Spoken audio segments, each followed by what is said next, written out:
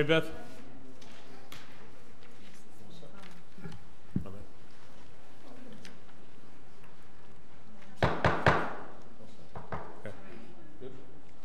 Okay, motion to reconvene. Second?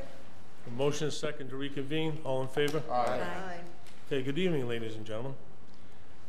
Tonight, um, item number two, the public forum, we have a number of people that have asked to speak. The public forum is to, is, um, people speaking have five minutes. The duration of the public forum is not to exceed 15 minutes. So, uh, as they came in to the clerk, I'm going to, um, I'm going to read the names as, in the order that they came in. I have them from the clerk. And the ones that um, I don't, we have three, four, five, six people that want to speak. I've asked the, the clerk to uh, let me know when 15 minutes is up. So if you uh, are a few words tonight, you'll afford somebody else an opportunity to speak. Okay? That's all fairness.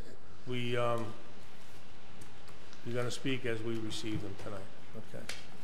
So, item number two. Pursuant to Rule twenty-five of the Rules of the Council, citizens may address the town on one subject only. Said subject of substantive town business, neither discussed during the regular meeting nor related to personnel or job performance. Citizens may speak for no longer than five minutes and must submit a public participation form to the council clerk prior to the start of the meeting. All items discussed during this session will not be voted upon. Okay. Madam Clerk, you ready? Greg Hewitt. Greg?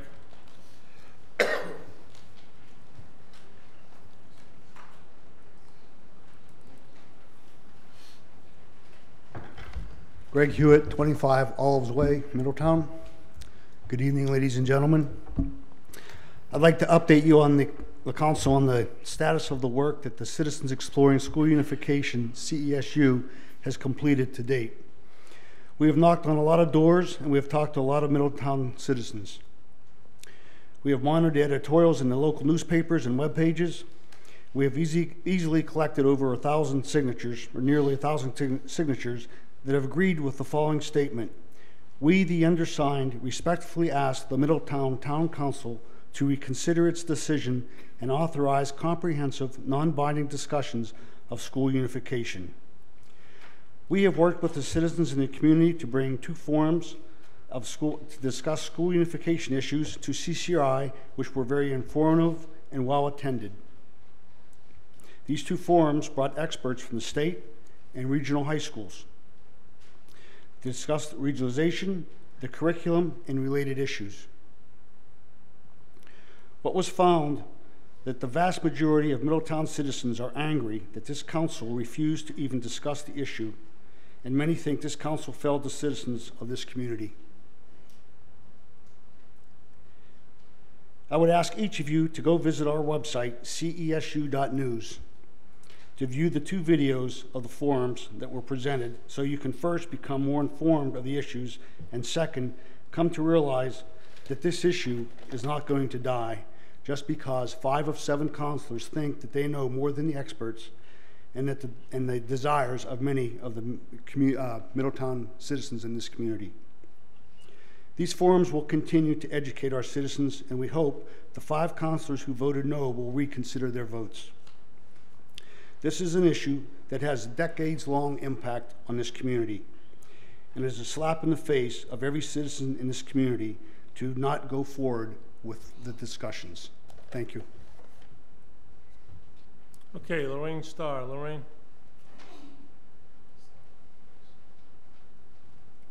Hello, Lorraine Starr, 17 Holden Street, Worcester, Massachusetts, and summer resident of Middletown.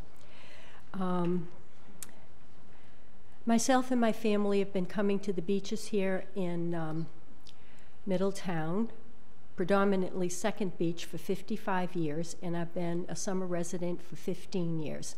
I've observed, and I'm a keen observer of what's been occurring with the dog issues on the beach. And I've tried to work with the last three dog offices and, um, and some council members, et cetera. So the, the biggest problem is the inability to enforce the dogs loose on the beach and the dogs pooing on the beach, children playing in the sand and the poo going into the water. Our new chief and the new dog officer did a noble job this past summer, but it was still out of control. I am recommending um, a review committee, maybe some counselors, a resident who has a dog, a resident who does not have a dog. I'd be willing to be part of it, and I would highly recommend your employee who is the beach manager, who is on the beach every morning at 7 o'clock and observes what's going on. Um, let's see.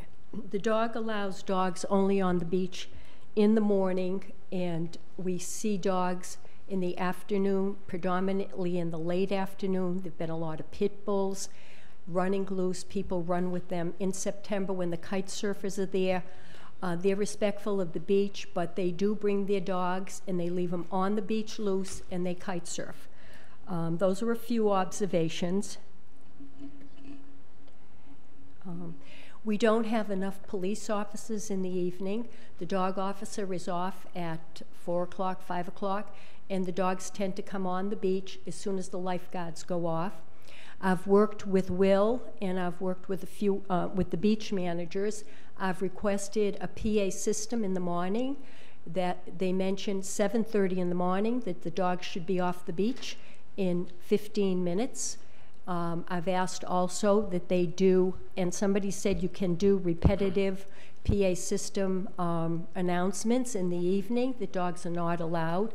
There was talk last summer that they would put at um, the entrances to the paths that the dogs are not allowed on the beach in the evening.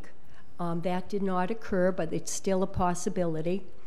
I would recommend if you don't review it or you do review it, and if you still want residents, and I know that that would be a serious issue for residents, that they feel that they're entitled, or perhaps they are entitled, to walk their dogs on the beach, that only Middletown residents can bring their dogs to the beach and adhere to the ordinance, which is to leash the dogs, take away the poo, and only the hours that are allocated.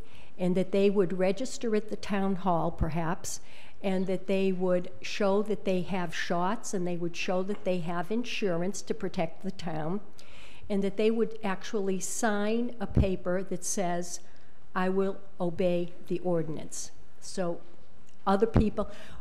They don't allow dogs on many other beaches in Rhode Island. For example, right in Newport, you cannot walk your dog on the beach during the high season. It's off. And I've known that the dog officer has told me in the past that often the police tell them off the beach, but you can go walk them on Middletown Beach. So maybe you can have a liaison with them and say that don't do that. I don't know. Um, I'm looking for a solution and I'm saying maybe what are some of the possibilities for this solution?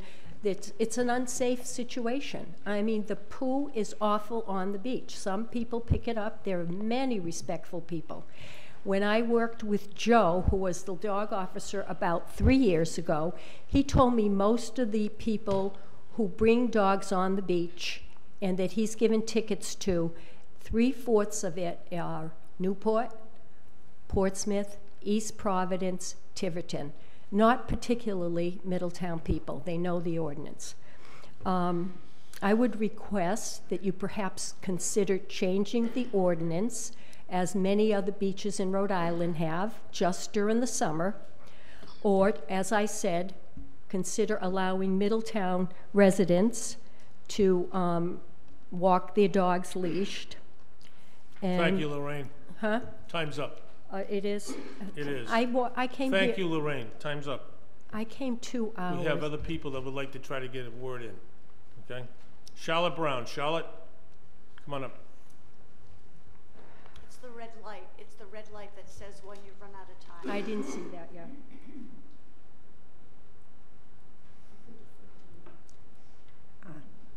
Good evening. I'm Charlotte Brown. This is my first time here with my story, and it ties in with the dogs, the cats, the birds.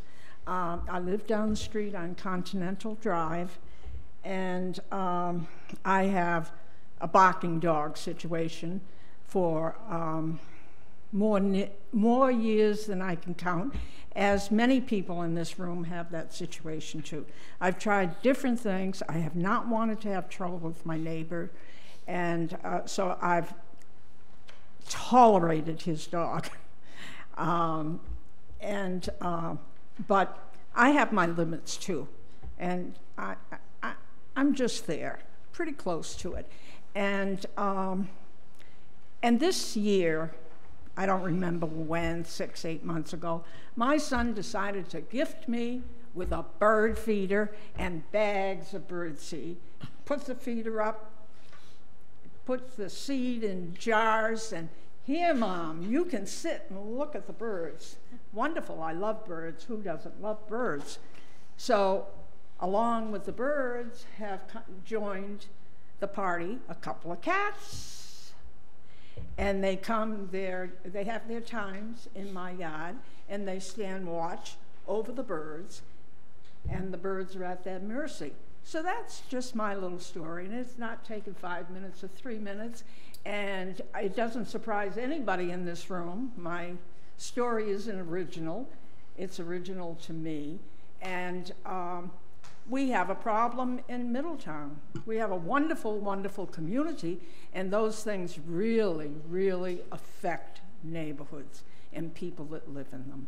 So I'm just here to tell you that and to say what's on my mind. And I want to thank you for your, all your efforts. I know you put a lot of effort into having things run smoothly and having things go well for us.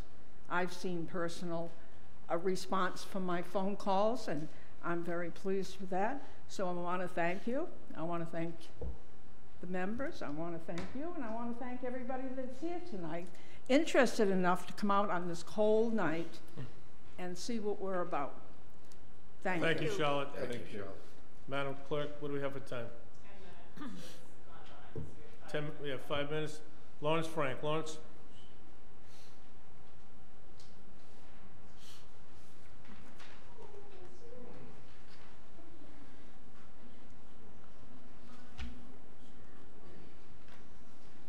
Lawrence Frank, 8 O'Donnell Road, Middletown. I lived in a small town in Iowa for a number of years. Across the street from my house was a large Victorian wraparound porch with rocking chairs. Three generations, parents, grandparents, and children lived there. They provided a support system that adapted to the needs of each person. It had probably been that way for many years. That was almost 50 years ago. Middletown is grappling with a housing crisis. Senior housing is one part of that. A recent article in the Wall Street Journal, which I have provided to you, speaks to the changing preferences of older citizens. Many would prefer to continue to live in their homes, being close to those of all ages, and those who prefer to live in a dedicated housing want it so that seniors can live next to families and younger sing- single people. Mixed use developments will provide this. It is important that senior housing in Middletown not be isolated by age or geography. Where it is located is as important as the accommodations themselves. It is important to get this right the first time, looking out, out the next 20 or 30 years towards a future where longevity and the elderly population increase. Gone are the days of multi generational families living in the same house or even in the same state the task of Middletown is providing the task of Middletown is providing housing that offers community support through diversified, diversified housing, housing that replaces that Iowa's family's experience of so many years ago. Thank you. Thank you. Madam Clerk? Mr. Viveras, you have three and a half minutes. Thank you, Mr. President, members of the council. During the debate of the new, new proposed tax system, it was stated that it would shift the tax burden from the wealthy to the not so wealthy. How can this be when all property increases two percent? So property assessed at three hundred thousand dollars, paying four thousand one hundred twenty-eight dollars in taxes, increases six thousand dollars and is now paying four thousand two hundred and ten dollars, an increase of eighty-two dollars. Property assessed at one point two million dollars, paying one hundred and sixty-five thousand one hundred and twenty dollars, increases twenty-four thousand dollars, now paying hundred and sixty-eight thousand four hundred and twenty-two dollars, an increase of three thousand three hundred and twenty and two and, and three thousand three hundred and two dollars. Yet a Homestead Act was proposed and will be again that would reward property owners who qualify for the program by lowering their assessment by seven point five percent while increasing the tax burden on businesses who will pass it on to their customers and residential property owners who did not qualify. Isn't that shifting the tax burden from those who qualify to, to businesses and those residents who do not qualify? It was also suggested that people who do not live in Middletown year-round should pay higher taxes. Yet, last year, Council Lombardi argued to waive the five-year waiting requirement for new residents when a gentleman who lived in Middletown and continued paying property taxes here and that prop, on that property while owning property and living in and collecting benefits in Florida now wants to charge others who do the same thing. It was also said that young people would not be able to afford to buy property here under the new tax plan. Yet, under the present tax plan, Council Von Villa stated that she had to help her son to buy a house in Middletown. One must wonder if after three or four revaluations, if her son will still be able to pay his property taxes, especially if someone builds a million dollar house next to him. Isn't that ironic that what the new tax proposal was accused of causing is happening under the present tax system? Thank you. Thank you, Mr. Veras. Okay. I'm gonna make a motion that we move item number nineteen up to next on the docket. Do I have a second? All in favor? Aye. Item number nineteen. Memorandum of the Town Administrator with enclosures RE, request to build pickleball courts at Linden Park. Motion to receive said memorandum. Second? Motion is second to receive, all in favor? Aye. Mr. President, Council Lombardi. I'd like to move that we uh, continue this um, to the December ni- uh, 16th meeting. Um, The reason for this is that the group that's proposing this has a presentation they'd like to put before the council. Um, They were not prepared to do that tonight. I think in all fairness to them, um, we should afford them that opportunity. Uh, So, again, I'd like to move this to the December 16th meeting um, for the council. Vice So, I mean, I'm not opposed to that, but why wouldn't we just forward it to the open space and fields if they haven't seen it yet? I have no opposition to that. I mean, I, I just, We could do it's that gonna, in- it's gonna go to them, it's gonna go back to them anyway. We could do that on the 16th, too. I mean, I guess, you're right. That- If you wanna prolong it, that's fine. I mean, either way, it's up to you. I agree with you that it should go to open space and fields. Okay, we don't have a motion either way, so wanna, wanna make a motion? I'd make a motion that we move it to the December 16th meeting. Do I have a second? Hearing none. You wanna make another motion about the open space? I just, I just, unless Rick, you wanna make it, I mean, it's up to you, you Can know. amend the motion.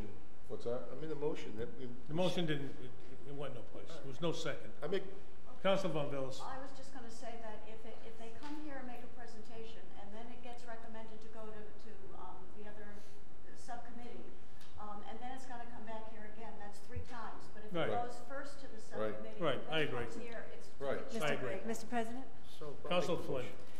in, in defense or recognition of Council Lombardi's um, position, I think before we send it to the subcommittee, the presentation may allow us to give some additional direction to the Okay. subcommittee, so they're not wasting time and to do it at the preferences of the council.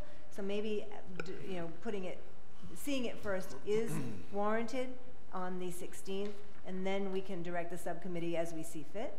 Okay. No, we don't direct the No. subcommittee. I'm not inclined, Well- I'm not inclined to do that. no. Okay. We don't I'm direct. inclined to just, uh, I mean, Send it I, I think that kinda puts us in a pickle. yeah, Yeah, it does. Nice.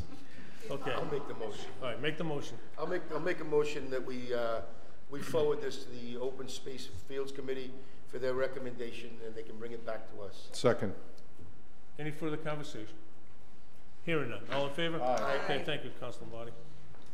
Okay, item number three, presentation, memorandum of the Middletown Pre- Prevention Coalition Director, RE Islanders Committed Lunch and Learn Series spotlighted at State Conference. Motion to receive said memorandum and begin said presentation. Do we have a second, Council Santos? Second. Do we have a second? Second, yes, Okay, I'm sorry. all in favor? Aye. Okay. Good evening. Thank you for letting us speak before you. My name is Jake Cathers. I'm the chair of the Middletown Prevention Coalition. Uh, I'm here to introduce some members of our Islanders Committed group at the high school who want to share some of our recent successes in programming. So, without further ado. Thank you. Hi, I'm Rachel, and this is Ethan. We're both sophomores at MHS. We're here to talk about our Lunch and Learn series, which was spotlighted at the Rhode Island Healthy Schools Conference. I'm gonna ask you just to lean the mic towards you or speak a little bit louder. Thank you. So we're going to talk about our Lunch and Learn series that was spotlighted at the Rhode Island Healthy Schools Conference. And we're also going to be talking about some other events such as our Family Day and some of our kickoff assemblies. So we have a slideshow which will provide some imagery for this. Before the beginning of the school year, we were invited to present our Lunch and Learn program in front of over 400 attendees at the Rhode Island Healthy Schools Coalition Conference in Warwick. At the conference, we provide a brief summary of our program and its success. It has also been spotlighted on Channel 10's Health Check Kids by Barbara Morse Silva. Following the conference, people came up to us and showed an interest in making similar programs to our Lunch and Learn. This was an exciting experience for me because I got to put my I got to test my abilities of public speaking in front of a very large crowd, and it also gave me the opportunity to show all of the hard work that we have done. Here are a few topics from our Lunch and Learn program. They were a very big success. We had entire classrooms come in and listen to our um, speakers. We had topics such on relationships, um, nutrition, sleep, as well as yoga. That was probably by far our most successful one.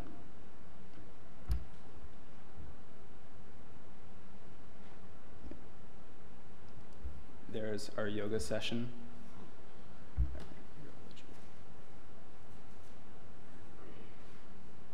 So this one was the nutrition session.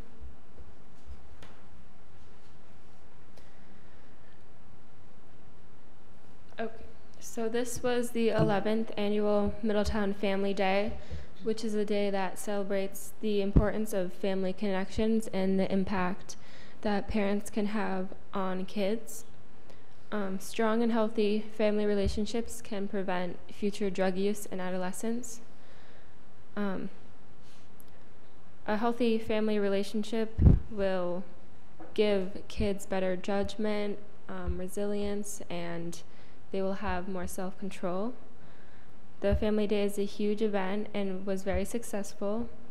There was over 700 attendees this year. There was rock climbing, games, a sandcastle competition, airbrush tattoos, s'mores, and lots of great food trucks. Um, I personally really like the sandcastle competition because it's something that an entire family can enjoy and strengthens family bonds. And we would also like to thank you guys for paying for the band.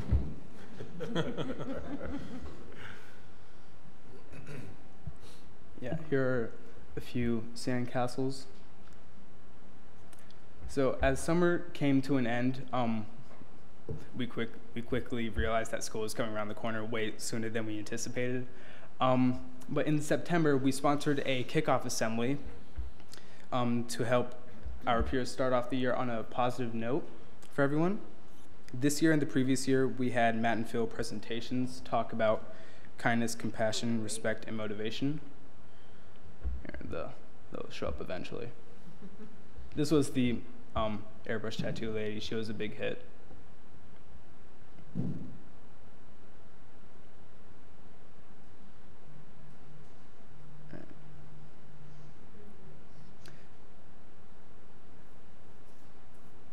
There, there. There's Matt and Phil. Okay. So these assemblies were very well received. The kids enjoyed their hard work and they gladly interacted with them and each other. They had us do these activities where we all stood up, um, talked to our friends and other peers that we don't usually talk to. We would give them compliments. Um, Matt and Phil, they also talked about what it means to be an everyday hero, um, the importance of being one. It can be anyone and the effect it has on those around them. They would also have students come up and speak. I remember seeing them for the first time. They were unlike any other guest speaker I've ever seen before. They were a lot of fun for everyone. We're looking forward to this year because we are in the process of planning several fun events for the students. Um, we plan on planning field trips, open Y nights, movie nights at both the high school and the YMCA. We want to do a health and wellness competition and we also plan on doing something new with the upcoming Project Purple Week in February. With, the, with events more directed towards the student body, we believe that we will have more recruits with us. And this year, we also want to take a leap and have re recruit kids in the middle school. So starting off young, they can go into a streamline where they make healthier decisions and live better lives. Islanders Committed is passionate about the improvement, health, education, of our generation and generations to come at Middletown High School. Our goal is to reshape Middletown into a happier, healthier, more welcoming, and a better informed community. Thank you for the support that you have shown Islanders Committed over the years, and we look forward to the years coming. And again, if it hadn't been for, for each and every one of you, we would not be where we are today, and we thank you greatly for that. You're welcome, and great job on your part, job. sincerely. Great Great job, great job. Thank you. Thank you.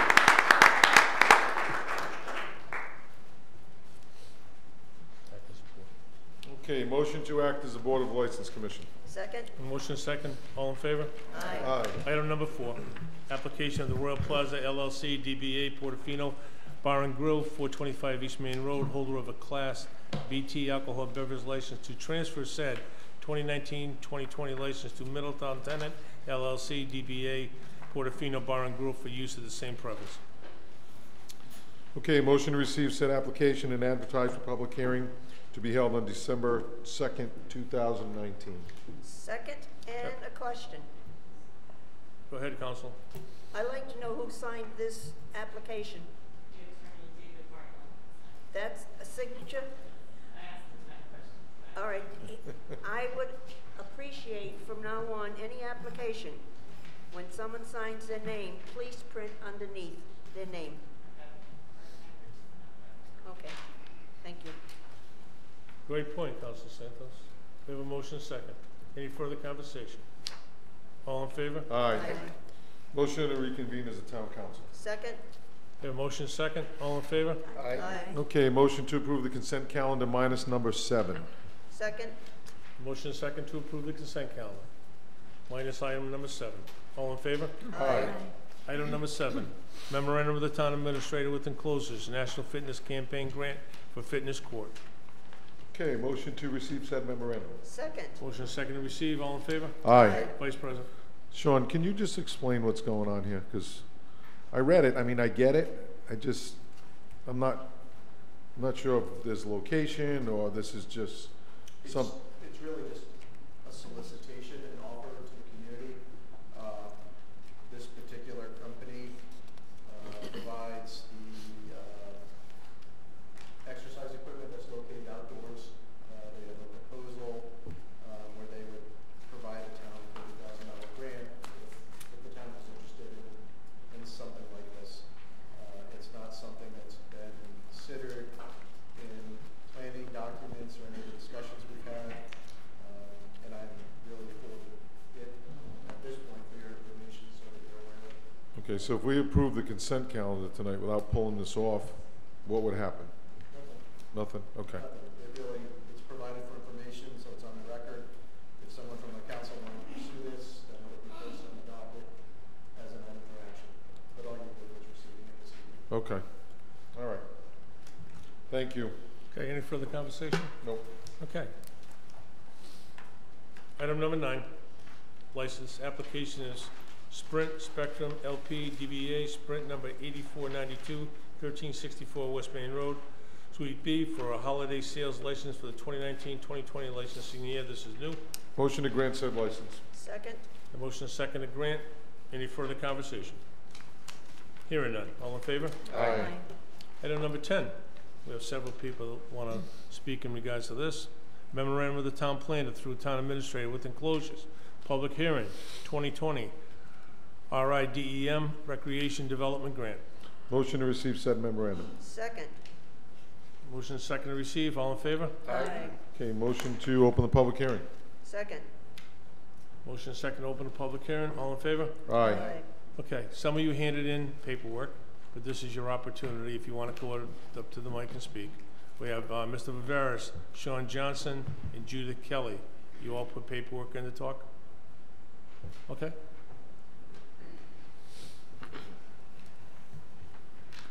Thank you, Mr. President, members of the council. Uh, My concern is the, uh, the Third Beach Boat Ramp. This came before the council when I was on in 2011, and the beach committee had received a grant of four, $400,000, which we had to put up 20%, okay, or $80,000. Problem was that if we accepted the money, we cannot charge non-residents more than twice what we charge residents. Right now, we do charge out-of-towners for parking, from what I understand. So, if we do this, okay, we, we can't, won't be able to charge out-of-towners unless we charge residents. And the Third Beach is the only place residents and taxpayers can go for, without paying a fee. And my concern is, if we accept the money, if we're going to fall into that category? Second Beach is, falls in- into that category. That's why we can only charge, we have to charge residents. And my concern is that we're going to wind up charging residents, because that's the reason why it was rejected in 2011. Mr. Solicitor, is that a fair statement? No. No. Okay? Okay. Why don't you comment? It's just for the, for the free lot, it's not for the Mr. boat. Solicitor? Yeah, so this is for, this is for the free lot that wi- is limited to Middletown residents, so we're not opening unless you're somehow, op- first of all, I'm not aware that there would be anything connected with this grant application that would make that a requirement. Number two, that lot is only open to town residents, so I don't believe there's anything in this grant application, and the administrator can, can correct me if I'm incorrect, that would require us to open that lot to non-residents. It, So- it, it it says this project proposes uh, the construction of a dock to serve boaters utilizing the Third Beach Boat Ramp. Right. Estimated project is hundred thousand dollars. The grant But is. we're eight- already, we're already charging for that lot where the boat ramp is located. Well, we char- so that the So, so the third, the third beach, Okay. not, not the town beach lot, this, this boat ramp would be accessed via the third beach where the existing boat ramp is. That's correct. Right. Correct, So so- it, we're- we're not, cons- so this project's not to construct a boat ramp, it's to cons- basically install a floating pier. We're not building a boat ramp, um, this is a, a seasonal, uh, pier that was identified by the town council subcommittee, which would be put in place during the spring. It would be anchored with, uh, a helix anchoring system, it's like, uh, rubber bands that mount, uh, get mounted to the bottom of the, uh, the, uh, the water in the harbor, um, and would hold the, pi- the, uh, the floating, uh, dock space, or not dock, but the, the, the piers in place as they're extended out, so much different than the project that Mr. VonVillas is, is comparing this to, the- which was the total demolition of the boat ramp, and then, I mean, the construction of the new boat ramp that was extended out Right. into the ocean, so, um, really apples and oranges at this point. Does that clarify that, Mr. VonVillas? And any, anyone, anyone can, can use, be able to use it without charge, Right. whether they're residents or not. Right, it the, the use of the, the- Sean, the floating pier. Could you speak into the mic, please? Right, yeah, right. Right. Is this better? Use piers. Yeah. So this is a. There we go. Again, a, a floating pier. Anybody would be able to use it. Um, for the purposes of launching and retrieving their boats. That's, that's the purpose of the pier.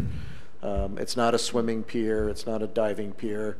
Um, The complaint, and I think the committee heard this, we've heard it over the years, is that you launch your boat, you have nowhere to put it while you uh, park your car or as you get your car if you're trying to retrieve it. So um, it's providing that, that temporary dock space, it's providing the ability to, to load or offload your boat. Uh, But that's, that's the purpose of it, and it, it would be free for residents and non-residents. And, and so it will only cost the town twenty thousand dollars, and that will come out of the uh, recreation fund? Uh, It's actually in the current budget. It was being funded out of the capital replenishment fund, uh, which is part of the beach fund. But it is a restricted funding source the council set up for capital projects like this. Thank you. Thank you. Sean Johnson, Sean? Yes, hi, Sean Johnson, 71 Wyatt Road. My, uh, my aunt's here as well. She's right up after me, but we have this similar topic that we'd like to talk about. So this is more about the, the lights and the concessions and everything going in at the former drive-in property. So uh, we bo- both border that land, and the initial intent when uh, years years ago when this came about was to build one or two lacrosse fields a- on this property, which we were very for. I think it's a great use of land, and it's you know I'd rather see that than to see some big store go up. We've heard about rumors for years what was going to go in there. So lacrosse lacrosse fields are fantastic. Um, our concern at the time was as long as there's no lights, because we already deal with the Gaudet lights now, which are probably on as we speak, whether or not there's anyone even on the field right now. So that was one of our initial concerns, and we talking with the, the lacrosse groups that wanted to go in there, they said we don't even need lights. We don't want lights. We want a few fields to play on. So a few months back, my, my aunt and I went to see the plans, and not only are there lights, there's concessions, there's restrooms.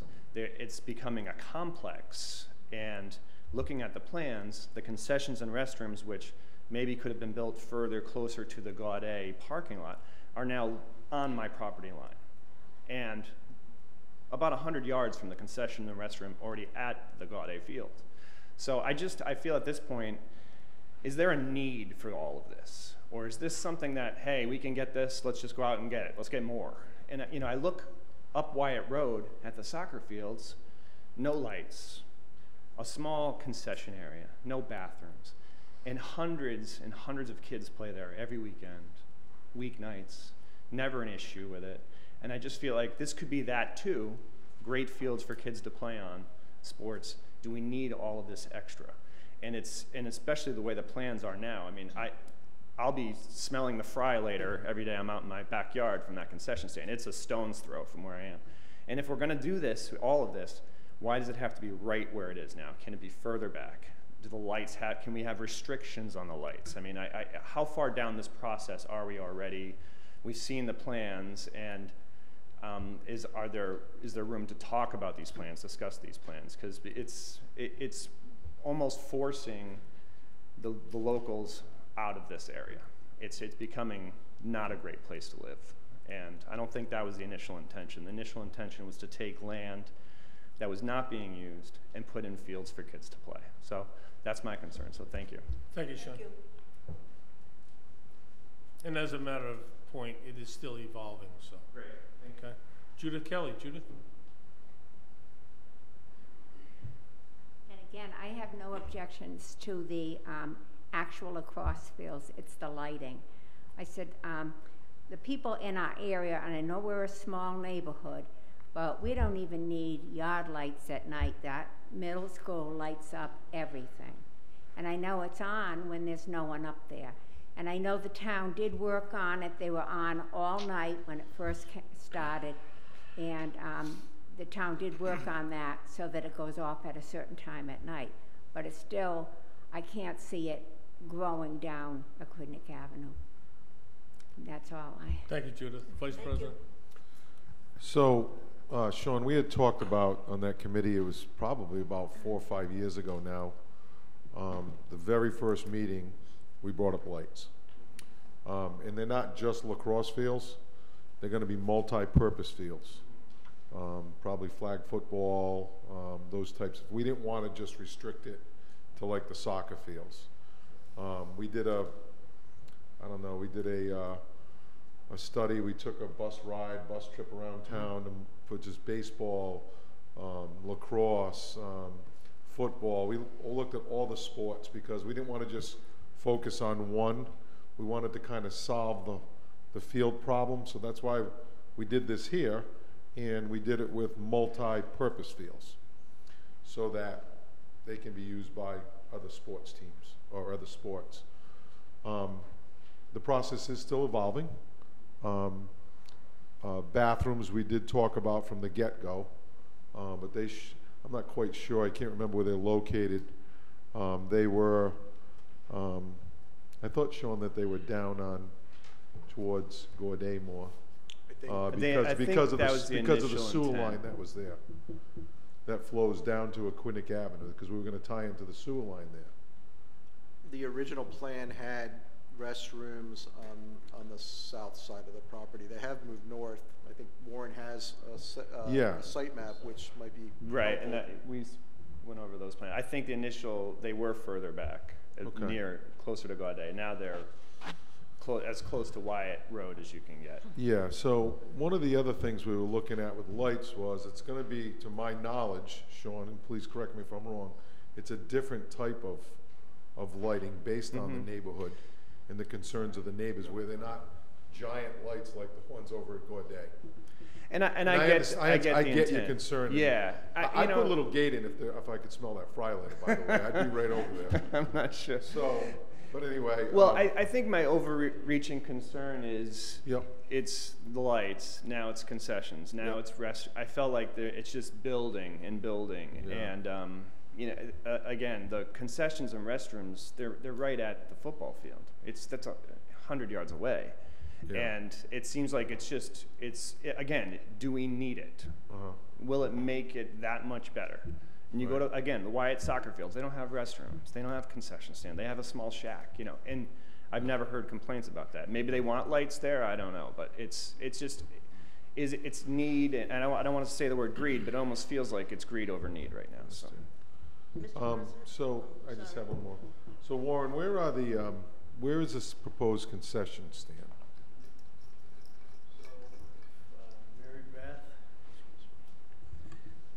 We have a plan that shows it. Right now, the concession and the restrooms are located adjacent to the uh, baseball diamond. So they'd be up in the northeast corner of the multipurpose fields. So, I know they were, originally the bathrooms are on the south end of the property. Why did, why were they moved? We moved those so that we could tie in by gravity to Wyatt Road. It's half the distance. Uh, There's been some changes down on the Gaudet property with the addition. It would have forced the sewer line out into the parking area. Okay. So, is there any proposed type of buffer, uh, for Mr. Johnson and Mrs. Kelly? And Miss, Miss Weber? Yes, there's a double row of the giant western arborvitaes, 255 of them, I believe, is the number of these, these arborvitaes. And also the, the field is gonna be filled now, almost to the property line. We'll stop short of the property line, then slope back down to the property line. So the arborvitaes themselves are gonna be four to five feet higher than the existing grade that's out there right now. How close is the, are these, are these buildings, facilities to their property line? The distance, I don't know um, off the top of my head. I would estimate them to be somewhere about 70 feet or so. Because the lower field, if you look at the lower field number two, that's set 50 feet off of the property line. Mm-hmm. So if I just look and kind of gauge that distance, it's more than 50 feet. It looks like it might be twice that distance, but I don't want to, if I'm estimating, I'll say 70, 75 feet. Okay. So, Sean, one of the other things, of part of the lights was, the initial discussion was Pop Warner had came in because, you know, the little kids practice, you know, as, as daylight savings comes on, the little kids, and- we lose daylight, the, the little guys practice way in the back against the existing fence. I'm sure you can hear them. Um, and there's very, very limited lighting there. So initially, we wanted just a, a, a light facing them as well. This pointing away from your property for, for safety reasons for them, so. Um, I don't know if that helps or not. Yeah, I, I guess, you know, for us, it, it, will, will there be any time restrictions? Will there be certain mechanisms built in for that that would make it somewhat of a buffer? And again, you know, the, eh, to me, it's, it's just, it's grown so mu- like the restrooms and concessions is just another thing on top of it. So I get the lights, I understand that. Yeah, so one of the things when we, when we, there was a proposal for that big complex up on East Main Road by, by Kempenaz Boulevard, and that that. got shot down because of the, the cost and other, other factors. And when we looked at the fields that we were looking at, um, and we looked at Gaudet, we said, look, we, we have something there already. So that's kind of why what we're doing there, for the need for the lacrosse, and I get what you're saying about the lights, but Sean, maybe you could speak to the light and the light company a little bit about what we talked about with the low impact or, um, sound, some, there was something with the lights, right? Yeah, the, the new, the new light systems are designed so that with the LED, the light is targeted down. It's more focused on the field. It doesn't drift off the field. Um, there were improvements made on the Gaudet field um, a number of years ago, but the, the new lighting truly is designed so that the light stays on the field and doesn't, doesn't bleed over. It, it has more of a dark sky compliant. There's actual companies, Sean, that we, we hire, I forget the name of them, they'll come down and they'll design it so that it doesn't impact your property. Mm-hmm, okay. Is there any move, uh, potential to move the restroom concession? I mean, That's gonna be I kinda think- cost-driven. I, I, I've, I- And we can it doesn't certainly even consider seem it. like the best spot for it, never mind my property. It's like the furthest point from everything there. I would think it'd make more sense to put it closer to where the parking is. If, So- it- it- the reason it was moved, according to our engineer, was because initially it was on the south side. Mhm. But otherwise it'd be have to, either one, one, we wouldn't have bathrooms down there, or, um, have to put some type of pump facility in Mhm. to be able to pump it. Um, I think the other thing we looked at was providing at least a restroom facility for the baseball field. Mhm. Um, That, that was an issue also, because you have the concentration of people up in that corner, and there really isn't a place for someone to, to use a restroom. Is there, is there a possible way they can locate it another, a little bit further away and still have gravity? I mean, you know, life's about concessions, right? Or compromises, so I think if, I think if, uh, oh, concessions, yes, I just, I, I did a pun and I didn't know it, Sean, you know? So, Oh, boy. I guess I'm full of them tonight. huh? Yeah, you are. Pickled all, they were pickled up. Why I mean, don't I'm we just just- take a look at that? Yeah, See if you can absolutely. do Yeah. it, okay? Yeah. Council Santos, you wanna Thank say you. something? Yes, I'd like to ask Mr. Johnson a question. Since I'm not a night hawk, I'm out traveling uh, Turner's Road late, uh, early. Don't, don't let it fool you. I'm not either, just so you know. Do the lights at Gaudet ever get turned off? Yes, at some point, but there's, I, it, I don't feel like there's any rhyme or reason to it. I, I, I've seen them on at five in the morning, very late at Really? night. I, I, I don't, I, I, like, the, if there's a time restriction, I don't know what it is. Is so. there anybody? Th- There's, there's very often times where the entire field's lit up and there's not one person there.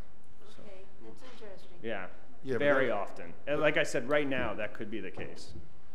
So, Yeah, but you just don't know who's gonna show up and who's not. I think there's a certain time, Well, they as have- long as the I thought there daylight was a stays- switch at There's one a point, switch. but I don't know if, They have a like, what the schedule story is with gonna be that. playing. No, no, people walk the track. It's not Oh. just for sporting events. Right. Okay, Council Lombardi. I seen you out there. So, so there, I believe there's, isn't there a switch that you can turn on and it only lights up a certain number of lights so that It's people can? supposed to. Right. No, That there was is, one there, piece. there is in fact, I mean, I've used it. There's a button on the, uh, near, there's the two concrete buildings. You hit the button, it stays on about thirty minutes. But minutes. it's only half the lights, it's not the whole. Two lights. Two lights. Right. Um, So that's, that's one question that I had. The other thing was, when we, when I was on the committee with Paul and uh, Councilor VonVillas at the time, and um, one of the discussions that came up was the lights Mhm. and the effect on the neighbors. And I do remember uh, the discussion about the time restriction. It was, the, the main issue, as Paul said, was the youngsters playing later in the evening when it gets dark early Mhm. and the need for some more light. Mhm. And I would be all in favor of a time restriction so that they're not on at all times. Right. And Yeah, that, they you know, shouldn't be. You know, Well, and, and again, it's a slippery slope, then, you know, we'll have a tournament there, and the tournament needs to go until eleven o'clock at well, night, no, I'm and, you know, saying that's, yeah, a hard, fast time restriction. I- It's good, they go off, they go off, they go back on again. Well, don't forget, the other reason for the lights also, Sean, Safety. was, well, safety, but was because, um, it allows us to have less fields because we can expand the time, the playing on it Mhm. to a certain time for the different sports. It was a Councilman Barty, you scheduling, done? yeah, it was a scheduling thing, to help with more day, less daylight at times, that's all it was, more than anything else. Well, I, uh, it'd- I'd appreciate that having a time restriction on that, too. I would be all for that. Okay, well, thank you, Thank you, Sean. thank you. Thank you, sir. Counselor Flynn? Um, so, no, I, this isn't for you, Sean, thank you. Um, so these are questions about this docket item, Can- uh, unless we're not done with the multi-purpose fields. Okay, so, um, Mr. Brown, you're right, there are two different grants going uh, to be applied for under this docket item. Do I have that right? Correct. Okay, because I got a, a bunch of emails and texts on the dock issue, and it was a little confusing because it was rolled into this one docket item called recreational development. So there, Uh. there are two resolutions, so it isn't, while there's one memo, there's, it's actually unbundled on the vote. so Well, I understand that, but it was still a little confusing for people who discovered it by accident. Um, so I just had a couple of, a few number of questions that I had and that came forward, if, uh, you could just clarify those up. Um, and, uh, you know, I think a lot of people uh, that are interested didn't really know this was on the docket tonight. Um, so on the dock drawings, um, there's a comment that says properties of St. George's School notation. Mhm. Can you explain that, please? St. George's owns the property, always has. Whoa, whoa. Let's, let's try to maintain some order. Mr. President, if we're gonna have this discussion, I'm gonna recuse. Yeah. Okay, recused. Madam Clerk, note that the Councilor Lombardi recused himself. Mr. Brown, you want to answer that? Yes, St. George's owns uh, a portion of the property um, down, down in the area of Third Beach, which includes the parking lot and also property adjacent to the boat ramp. Is this project going to impact any of that property, or is it just notification on the, on that picture that this belonged to St. George's? No, we'll have to speak with St. George's um, about the project, and uh, ultimately, we would have to indemnify them, uh, similar to what we do on the parking lot. Which, which means what, you- there would be an arrangement or a? con- We would, we would modify an existing agreement that we have with St. George's. Um, We would also seek a letter from St. George's, just um, seeking their lack of opposition to the project um, at the boat ramp. So, Okay, and that has not been done yet? No. Okay. Um, I I think a lot of the questions that I got sort of are are like um, Mr. Johnson's uh, about how far along is this? So um, I'm just going to down my list. So could you clarify, and I think you did earlier, this is a pier that also floats, it's not just a floating dock? It's a pier that also floats, is that true? No, it, it floats. It's, it- it's not, there's, there's a gangway component to get from the beach to the floating pier, to the floating dock, and then basically the dock itself is, is nothing more than a float. So the dock floats and the pier also floats? There is, there's no pier portion, I believe, is there? Or, there's no, No. there's no, there's no fixed Just an pier. anchored dock. Just a dock. So there's, there's a, a ga- and I'll let Warren walk through it. There's a, there's a gangway that gets you from the beach to the floating, the floating docks. Uh, but there is no fixed component at the end of the day. So, um, at the end of the beach season, um, there really is nothing left on the, the beach, um, from an infrastructure standpoint. So maybe, maybe have Warren walk, just walk Yeah, if through you it. could describe, you know, that's the questions I'm getting. What is this long, uh, red outline? It looks like an L with a very short leg, um, going out into the water. That's, I think measures forty feet at the end leg. Warren, that, grab that mic, does it come out? Yeah. Right here? Okay, good, good. So orientating you to the drawing, here's the parking area. This would be a ramp that would extend from the parking area down to a float. So the float starts just above mean high water.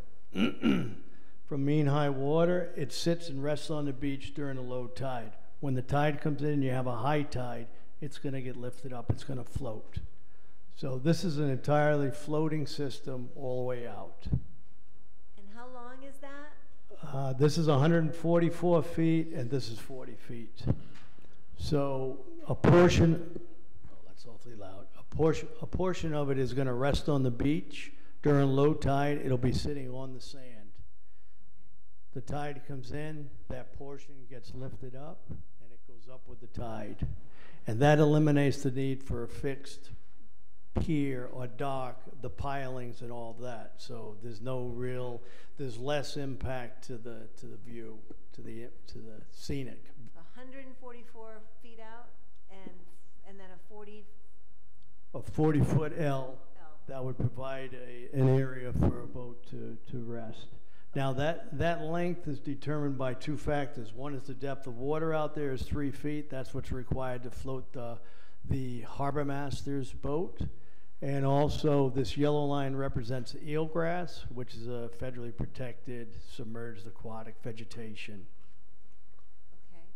Um, let's see, so one of the questions, uh, is if the, if the grant's applied for and awarded, and then the council's then asked to accept this grant, is that how it worked? Or once it's awarded, we get it? I- I guess the question was, is there going to be another public hearing? What's the process? If we're awarded the grant, we would need to sign a contract. I would typically come back to the council and seek authority to sign the contract. So there wouldn't be another public hearing, There wouldn't be a public hearing, but there would be a docket item. okay? Um, and, uh, so that docket item, yeah, my, my question is based in, you know, is there public support for this?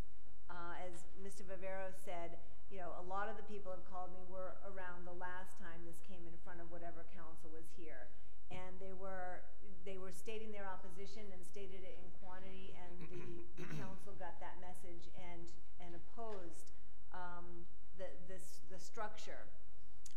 So, So just um, to correct, just to, to clarify again, Mr. VonVillas was talking about demolishing the current boat ramp, constructing a concrete new one? boat ramp, and Mhm. constructing a fixed pier um, that would be extended out. Th- This project is, is not, it, it doesn't resemble that project in the sense that this is a temporary floating structure um, that is, you know, will be constructed or implemented adjacent to the existing boat ramp. They are, they are different. Well, I think the, the mass of, of what's being proposed is not all that different. I mean, it may not be, you know, on pilings, but I think that, um, you know, I was sent some, some quotes from the comprehensive plan and the goals. In the comprehensive plan, there's, there's no mention of pier or dock in relation to Third Beach. They talk about Green Lane Park, um, but nothing down at Third Beach. But the goals in the comp plan include, one of them says, preserve the character of Second and Third Beaches while supporting appropriate recreational uses and ensuring public safety. Another goal is preserve Third Beach by maintaining the current facilities and level of use. Um, and I guess adding something of that size, that's not a small thing. It, it sort of adds to the density and activity of what's going to go on down at Third Beach. And that Third Beach really is one of the last serene, untouched areas in Middletown. And I'm not sure that that's what the public wants. I, I'm just not sure that there's enough awareness of this coming up again and support for it. Um, I did read the beach report that's coming up later in the docket, and I did note in the harbor master section on page six, um, he doesn't mention a pier, but he states simply, and if I could just read it, um, quote, we need a boat dock. If we had a boat dock, the ramp would be much safer. I, I assume that's the boat ramp that exists. I know there are restrictions set by CRMC on standard boat docks. We need the least expensive plastic Trex dock that meets state criteria. This dock should be mobile so that it can be removed by axle or winched on a car tow truck and brought up into the parking lot. It does not have to be permanent. And I'm just, um, I received a couple of emails I'd like to also read um, excerpts from, from people who uh, were around the last time this was brought up, and it said, and they say, one of them says, how did the town council permit this, this docket item? Over hundred citizens came to town hall a couple of years ago to show their opposition to building a pier at Third Beach. The comp plan makes it pretty clear that the town should protect the serenity of Third Beach.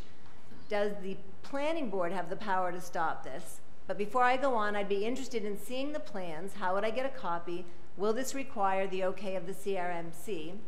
And I got a text that said, why would town council request a grant for a project until it has determined that there is public support for the project? The last time the public expressed its position on a dock slash pier, the opposition was overwhelming. Um, so I'm just not sure that we have public support for this kind of a bulky development on Third Beach at this particular time. I, I'm, a, I'm I was a little rattled by things coming in and comments from people who have been this, this way before. I think, I think the difference is, and what can possibly be a little confusing, is that Mr. Brown is requesting that he can apply for this grant. Now, once he applies for it, and if it is approved, mm-hmm. then it comes back to us to accept it. There's a big difference, because this might be mute. We might apply for this and not get this grant. However, well noted what you're taking. Mr. Mr. Brown, are we gonna be storing this if this should come to fruition?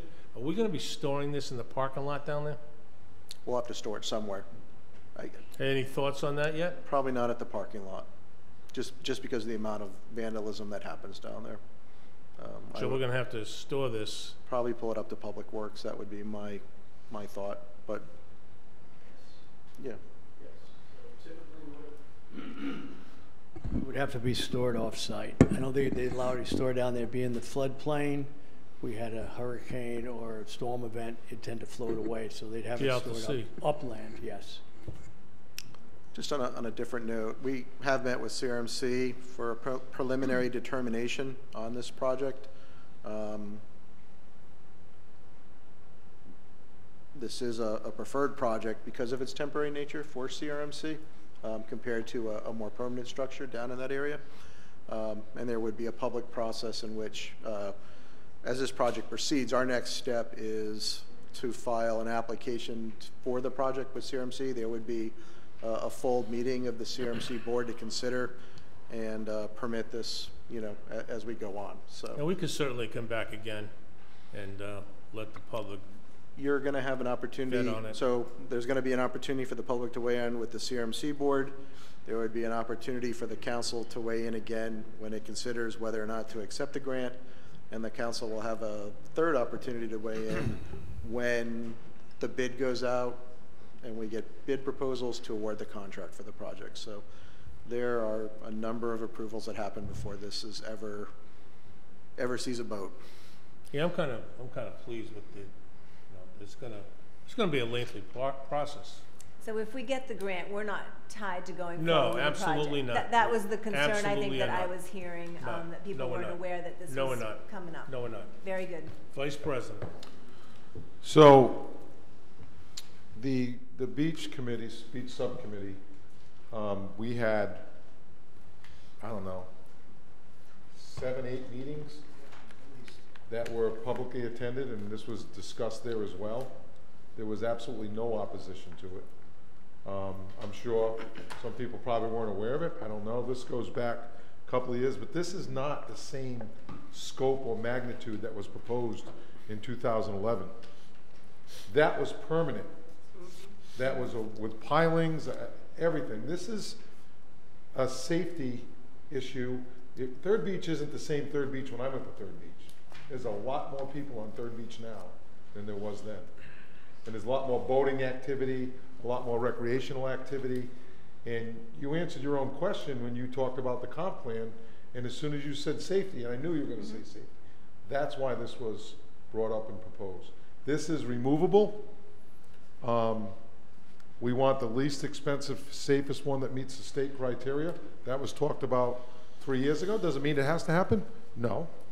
Um, but it's not the same. The people that oppose that, I would never, I opposed it. I would never approve or support a permanent, do- uh, um, dock or, or pier. That's more of a pier where you could pylons walk on permanent. This is like, this reminds me of when I was a kid, I used to swim out to the raft. It's like a floating structure. It's longer, obviously. Um, but I, I just see it as safety and, you know, if the harbor master does that job, the same guy's been doing it for twenty years. I don't know, that's just, that's just me. I- I just want to make But sure there's public support, I- especially Right, since understood. it has changed. I think that the education is Yep, critical, yep. and we want to make sure Yeah, I we mean, if do you what get the a bunch of community people that wants. say we don't want it, then we won't do it, but we had hearings and not one person Okay, opposed it. let's give the uh, people in the audience an opportunity to speak for a while. Uh, Yep. Is there anybody else here that would like to make any comments tonight? This is an open public hearing. Yes, sir, come on up, name and address. My name is David Rushlow. Uh, I live uh, here in uh, Middletown. Uh, The only thing I can say is, again, uh, I wasn't really prepared. I heard about this about the last minute. My thing is, is that to put that pier on there, 100 feet and another 40 feet, if you if you go down there, if you go down there all the time, it's a beautiful beach. It's not disturbed yet. We haven't had a chance to screw it up. So with this right here, this is not something, when we're down there, you really don't want to look out at that. And as for it being a safe thing for boating, I look at it and I have to say, it, it's not going to change anything. There's not a lot of traffic per se. I spend, I I go down there at nine o'clock in the morning. My wife and I don't leave till five o'clock at night. Sometimes we'll go down there at night and walk around. It's not a big situation that you need a pier to back people up. If the pier is done like this anyhow, with those boats right there, if you have to get over to that ramp, there's not enough room if that thing bogs up with two boats or three boats out there. It's not going to be easy pulling your boat in there and getting it to the ramp. So, so Dave, right now we have, and it's been going on for years, you know the pole, that big pole there? Right. People will tie their boats, and then they'll go up if they're doing it by themselves, and it's swaying back and forth, the boat, depending upon the, the, the, I mean, there's not a lot of current there. Yeah. Um, so, I mean, that's been going on for years as well, and so we're trying to, and people aren't, one of the, in the reports from the harbor master, the, the biggest issue was people swimming in that area that shouldn't be, even though the other ones has the, uh, the buoys. Right. So, I mean, I, I don't know, I mean, it's just, I think it's a safety issue, I thought it's always been a safety issue, but we'll It- see what happens, and again, it's just, I hear what you're saying, but it's just, it's a floating dock, it's not a pier. It's just, it's just floating. It, it's still an object in the, it's still an object in the water that it changes it. Mm-hmm. It does change it. It's not like it's 30 feet long or 20 feet long. It's 140 feet. Well, Well, maybe it there. doesn't have to be that long, I don't, I don't know, does it have to be that long?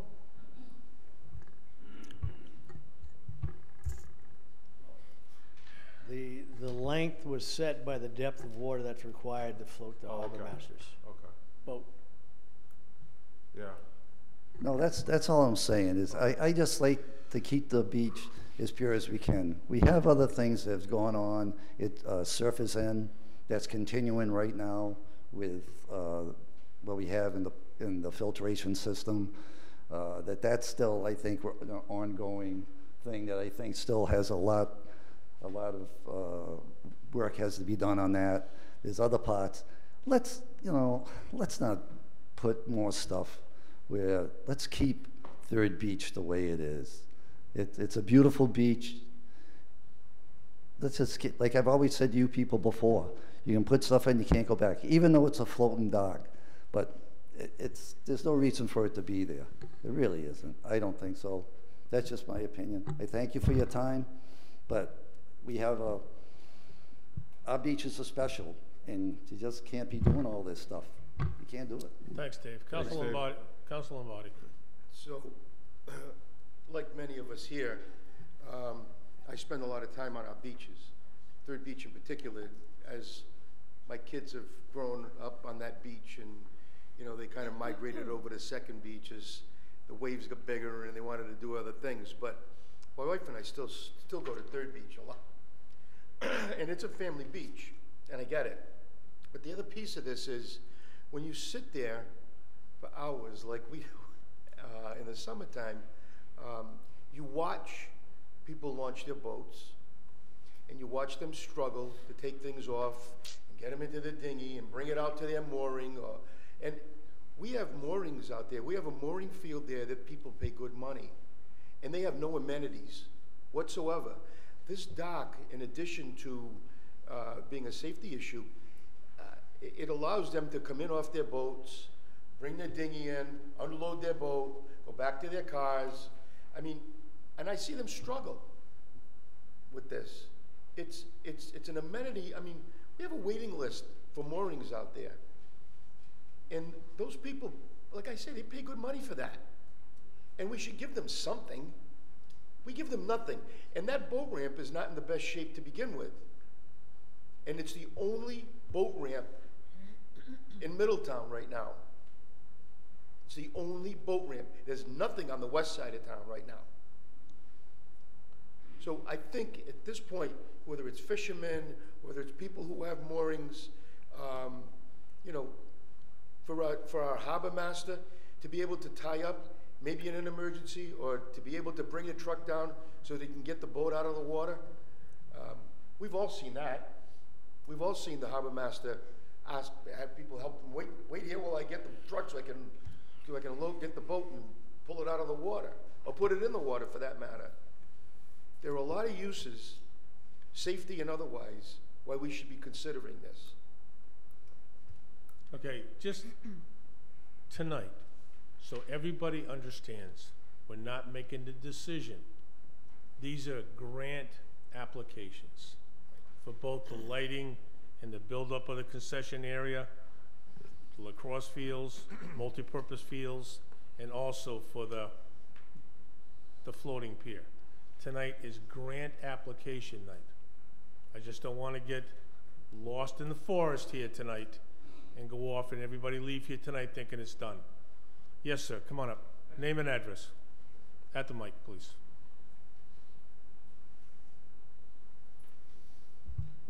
Hi, for those who don't know me, my name is Michael Zarum. Um, I am not a Middletown resident, although I wish I was, and now I'm. What is your address, Mike? Col- Excuse me? Where do you live? I live at um, Warwick, Rhode Island. Okay. Although I've spent summers in Middletown since I was eight years old, um, including Third Beach. And um, I want to thank Ms. Santos. I met her the other night at the uh, Airport Corporation meeting. And um, I'm actually quite interested since it's on the agenda because I have used the beaches in Middletown since growing up and my aunt lived here. Um, and like a a lot of people in this room, Third Beach is a very special place. And when I'm listening to people here, a lot of this is about balance, trying to keep things um, untouched and preserve um, what everybody sees when they go out there, which is more natural versus adding structures and everything. And at the same time, there are safety issues involved and stuff like that. So, um, am I allowed to ask questions too? I'm just curious what, if this was more a safety issue. I heard some other comments, but um, if someone can tell me, You can make I'm a little comments. vision impaired. Exactly where it's going to go relative to the beach, where the um, the concrete ramp is that's there now. Mr. Hall, could you, our engineer will point that out to you. So the existing concrete ramp Okay, And again, there's no guarantee on this. I see. Tonight, excuse me, excuse me, tonight is application night. I see for your It- grant. It isn't etched this in stone night, I see. okay? And this, and the, the grant is, application's going to who? Rhode Island DEM, Oh, okay, all right. okay? So they'll entertain letters of support, I, I, if, if it's warranted, okay. Um, other than that, my, c- my comments are, one, it's a, it's a beautiful beach. And of course, we know there are both local residents that use it, as well as people from other parts of Rhode Island, as well as people from out of state. Um, I've also moored out there, um, with boats for, for over thirty years and slept overnight out there typically at the end of the year, bringing my friend's sailboat into Newport to dock. And I do know that the, there are safety issues. Um, I was kind of surprised this last summer when I saw the deteriorated condition of the concrete ramp was, was pretty treacherous. And, and I've seen people struggle trying to get their boats in and out. And um, I think what you mentioned is valid about having something that's more stable for people to load and unload things off their vessel and try and keep things safe. And one of the other things I was concerned though is, um, are there rules and regulations, or have you talked about rules and regulations for usage of such a structure and things like that? What's, is there a time limit? Is there a fee? Um, and things like that too. And if this went in as a floating dock, what would happen with the concrete ramp? Would that also stay there, or would that come out? That would stay, there's no fees, and again, application tonight, this is application conversation. Okay, No, there's no guarantee we're even gonna get it. I see. And, and did somebody propose this, or was it just, It was, it came Is the from a idea proposal from new, our or- beach commission, our beach oh, committee. oh, okay, all right, all right, all right.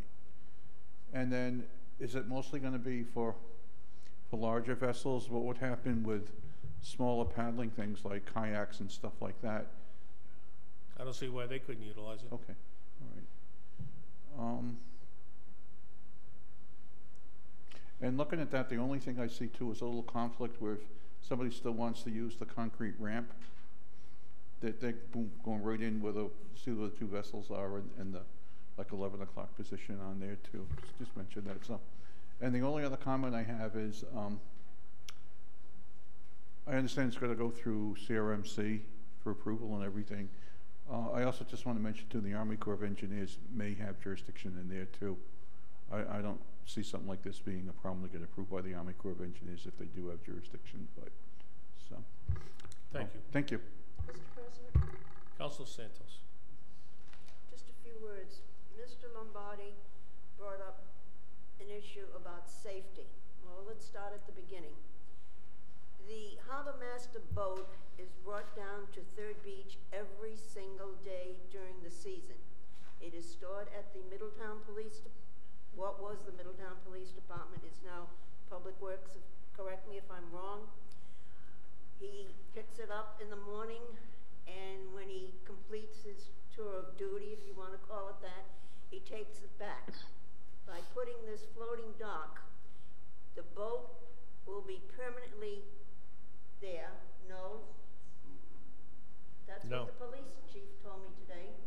No, I think- I still believe that, that's only for people to tie their boat up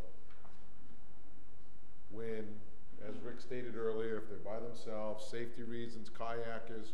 It's whoever- limited time, it's just whoever in and gonna out. use it. It's tempor, it's just for a I temporary, know it's temporary, but i- if he, it's not gonna be stored there overnight, no.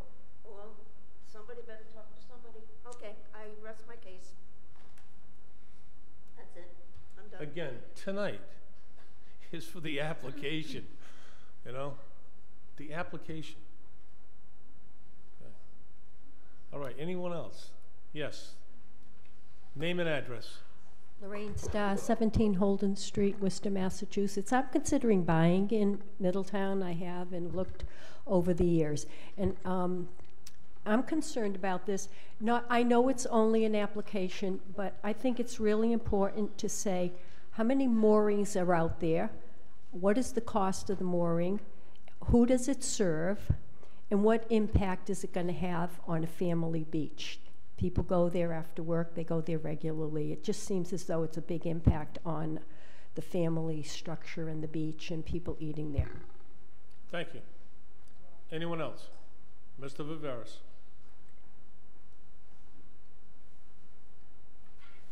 Thank you, Mr. President, member of council. Uh, I have, have a problem, one thing, is in asking or applying for a grant and then deciding not to do the project and then turning the, the money back in. I also have a problem because the list of projects in this town is longer than my arm. Yet we keep adding more and more and more projects. We have a project now that we estimate the, uh, what it's gonna cost, but we don't know where we're gonna get the money from. So I would caution to moving ahead with something where we don't have a, uh, we could take, take and spend money on some of these projects that have been delayed for several years, that haven't been done. They keep moving back and back, farther down the list. Um, I don't know, it took, it took bet, better part of a, a year plus to put those cameras at the beach. You approved it this year and it didn't get installed till next year. So, um, I'm just saying, maybe, maybe be, be better just to have a little caution and maybe catch up on some of the projects that's gotta be done and have been put off for one, one thing or another. Uh, the CIP project, every time you get a new project and you ask Mr. Brown, how we're we gonna pay for it, he says, CIP. Fifteen million dollars in, in, in, in, uh, in bonds for twenty years, where are we gonna get the money to pay for? CIP. No, that's not a fair statement. No. That's not a fair statement. No, I'm, ju- I'm, what I'm, what I'm saying is, we, maybe we ought to, you know, do like the parents. You know, says, gotta- creative towns, innovative towns, towns that want to stay with the flow, keep moving, do creative things. This is just the first step in something that could be creative, could, may not be accepted. Again, this is just the first step. Is it available? If we apply, would it be available? And then we can take the next steps down the road. You know, we're already tying boats up on this dock tonight. Okay, we don't even know if we're gonna get the money. Well, that was, that was the problem with the other one, that, We got our harbor master, gotta tie his boat up down there. that was the problem with, with the other, back in two thousand eleven, people do- supposed to dock there and do. But that was a different Anyway, story, I like the know. vice president I- I- said. I understand, it's not, a- it's not a. It's not permanent- the same. We not were a gonna permanent dock. rebuild the whole Right. ramp down there. Yeah. This isn't a I- fixed dock. I think so- sometimes This is we a move, portable we dock. move too fast. Yeah, Thank we you. have to think of safety too down in that area. Okay, anybody else? Okay, thank you. Okay, motion to close the public hearing. Second? Motion is second to close. All in favor? Aye. Okay, thank you. Number 11, again, authorizing submission for application of resolution of the council authorizing submission of RIDEM grant for lights, concession, restrooms, and scoreboard for multi-use playing fields, former drive-in property, 1199 Aquidneck Avenue. Motion to pass said resolution. Second? A motion is second to pass. Any further conversation? Hearing none. All in favor? Aye. Item number 12, resolution of the council authorizing submission of RIDEM grant for dock at Third Beach Boat Ramp. Motion to pass said resolution. Second? Okay, motion is second to pass. Any further conversation? Hearing none. All in favor? Aye. Thank you. Item number 13, ordinance. An ordinance of the town of Middletown. This is the first reading. An ordinance and amendment to the town code of the town of Middletown. Title 13, Chapter 130, General Offenses, repealing Section 130.02, indecent intoxication. See attached ordinance. Motion to receive said ordinance on its first reading. Second? Motion is second to receive on its first reading. Any conversation? Hearing none. All in favor? Aye. Town Administrator, item number 14, memorandum of the Finance Director through the Town Administrator with enclosures, RE, RFP, CDBG, Administrative Services. Motion to receive said memorandum. Second? Motion is second to receive. All in favor? Aye. Mr. Brown. Uh, This is a recommendation to award a contract to Church Community Housing to provide administrative services as it relates to the CDBG program. Um, They have provided these services for as long as I've actually worked for the town. Uh, We received notification from the state that they wanted us to go out to bid. Um, They're doing that throughout the state, and uh, we had one, one proposal, which was from Church Community. Uh, And we're recommending that you award the contract for a total amount of eleven thousand four hundred forty-six dollars. Okay. Item number 15, resolution of the council, award of the contract, CDBG, Administrative Services. Motion to pass said resolution. Second? Motion is second to pass. Any conversation? I just have one question, Go Sean. ahead. Sean, that, that amount, it's, it's for three years though, right? Yes. I mean, it goes up just a little bit each year, it's not just that one dollar amount. Correct. I don't, I just wanna make sure we're, we're, Yep. we're clear on that. Yep. Okay. Yes. Good point. Okay. Okay, we have a motion and second. All in favor? Aye. Aye. Item number 16, memorandum of the town planner through the town administrator with enclosures, local multi-hazard mitigation plan update. Motion to receive said memorandum. Second? A motion and second to receive, all in favor? Aye. Mr. Brown? Uh, yes, this is a request to the town council to approve our local multi-hazard mitigation plan. Uh, this was a process that was undertaken by a number of staff members uh, to update our, our hazard mitigation plan. Um, I have Rita from the planning office here to walk through uh, some of the highlights of, of what's included in the update. Um, we're here to answer your questions and then seek your uh, approval of the document.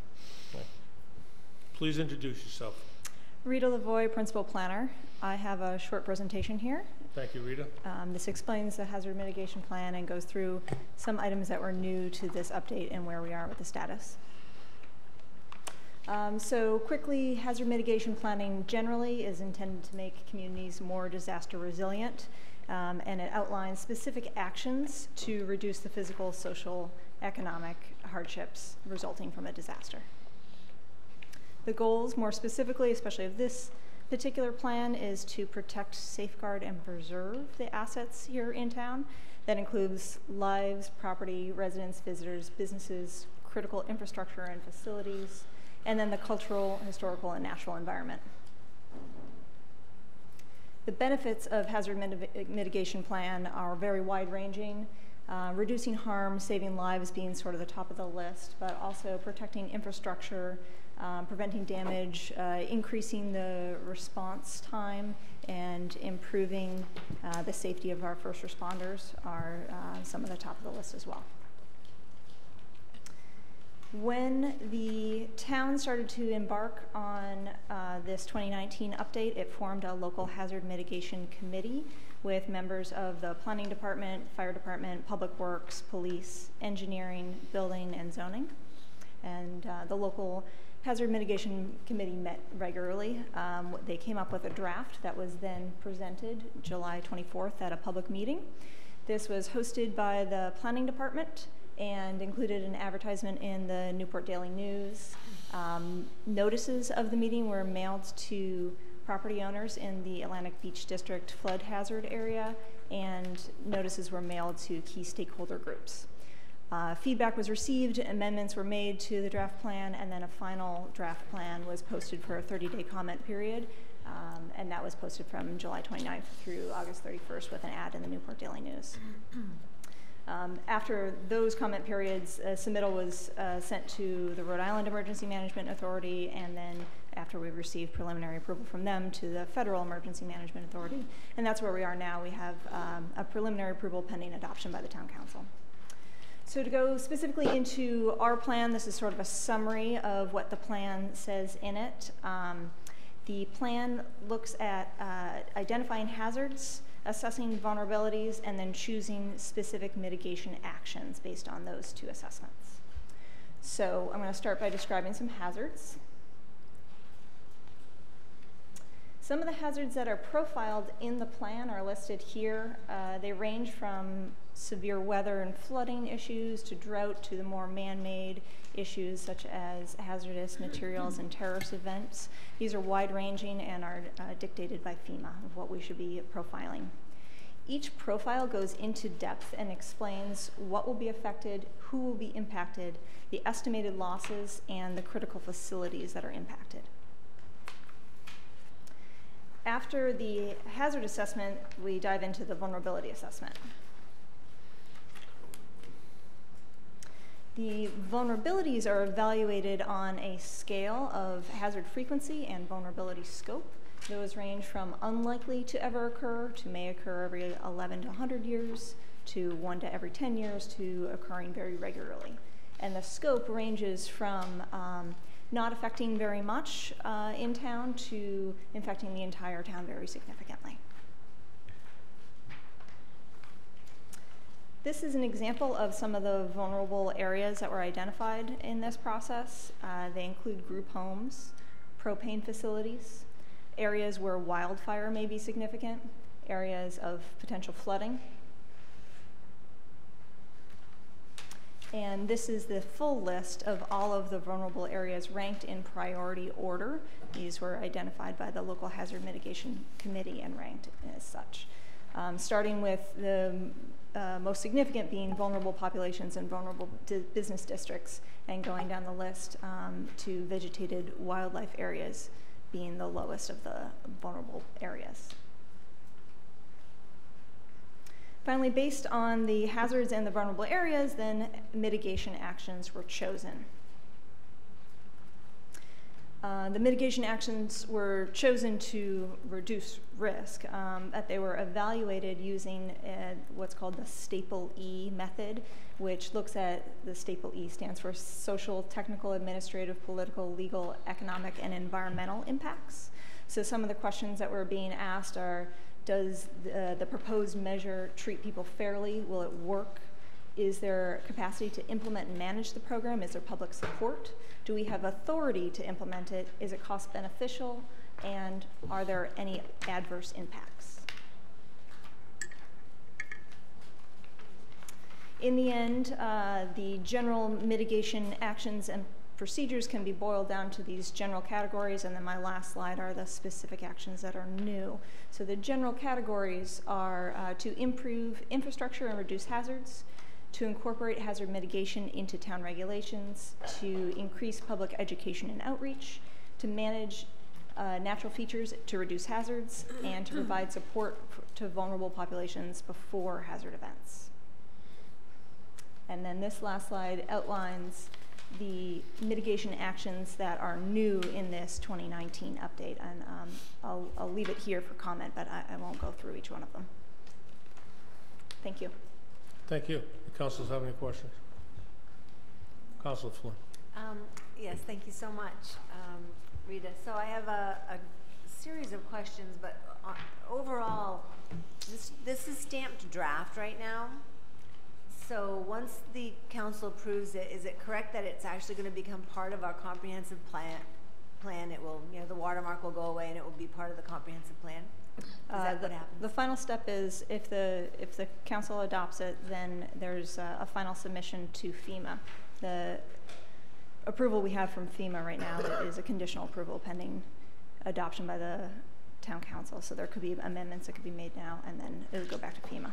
Okay, and, and it becomes an appendix to the comprehensive plan, so when the comprehensive plan falls under review every ten years by state law, would that also, that appendix also be under review on that cycle? Let's run to weigh in on Sorry. that process.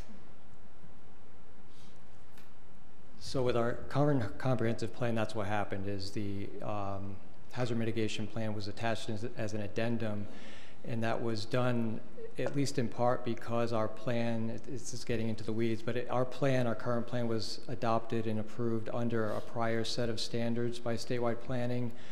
When we redo our next um, comprehensive plan, there's going to be more stringent requirements, uh, particularly in, in, re- in regard to hazard mitigation and climate change that will have to be incorporated into our next comprehensive plan. So I guess my answer to your question is it's yet to be seen whether we will then still have to append this plan to the next version of the comp plan.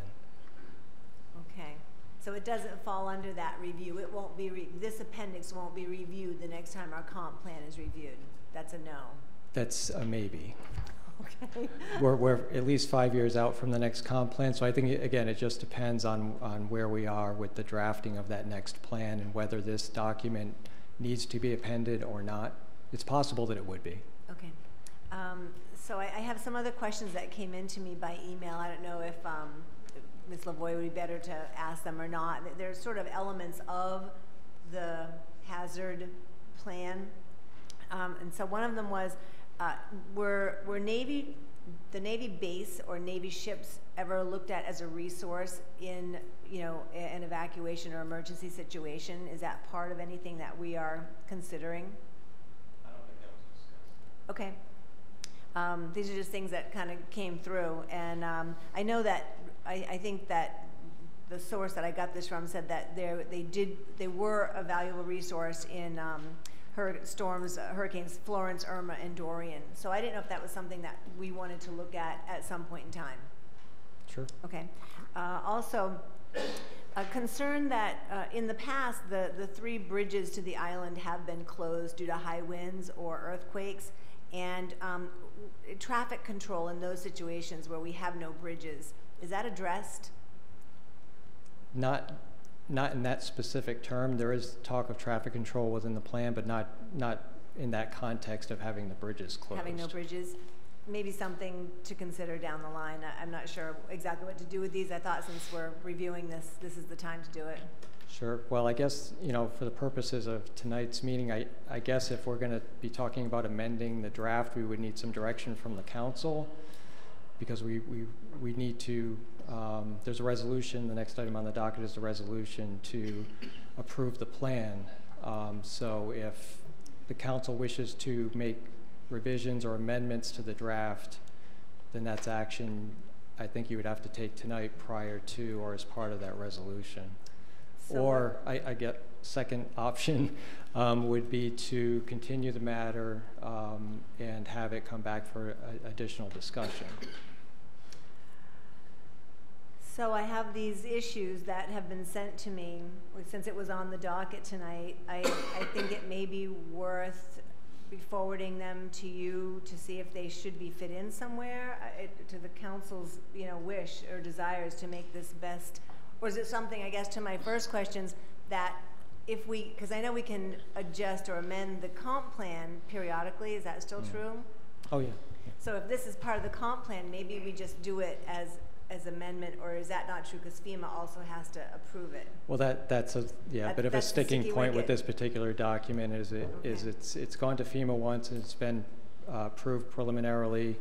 Um, If we make revisions to it, that's fine, but we have to send it back up to FEMA for their additional review.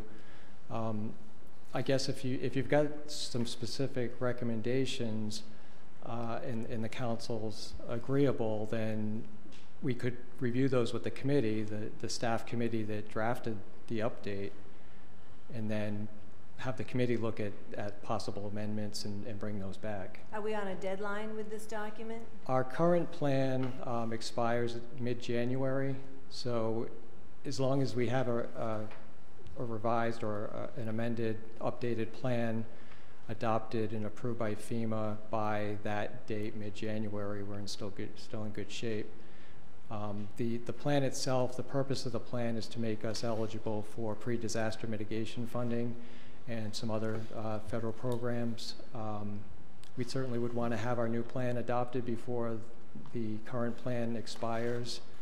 Uh, But if that doesn't happen, I don't know that it's the end of the world. We would be shortly thereafter getting it approved if, if we miss that, that mid-January timeframe.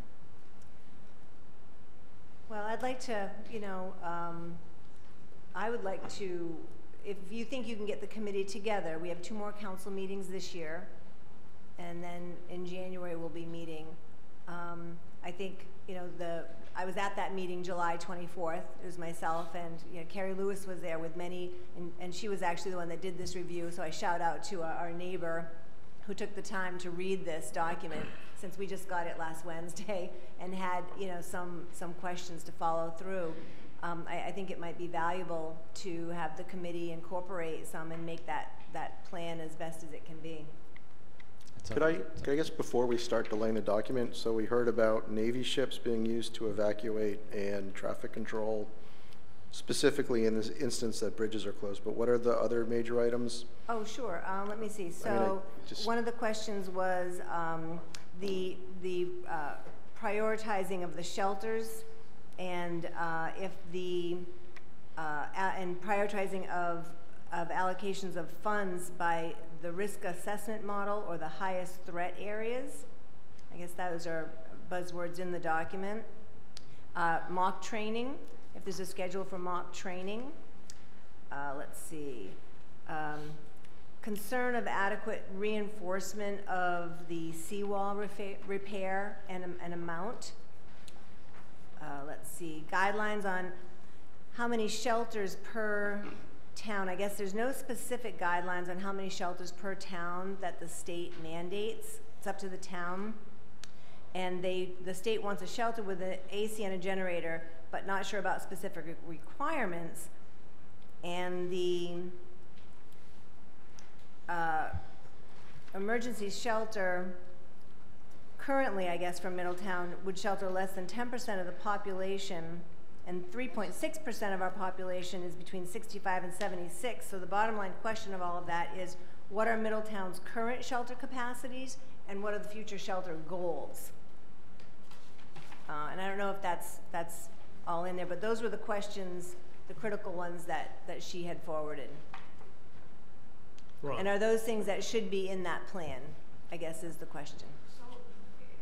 So, excuse me, I'm just wondering, you just read from a, a, a, a, a- a letter, it looks like a letter, why don't you just give a copy of the letter to, uh, Well, to yeah, I could certainly do that um, if we are going to be on a schedule to get this done by mid-January and incorporate what you deem should be incorporated.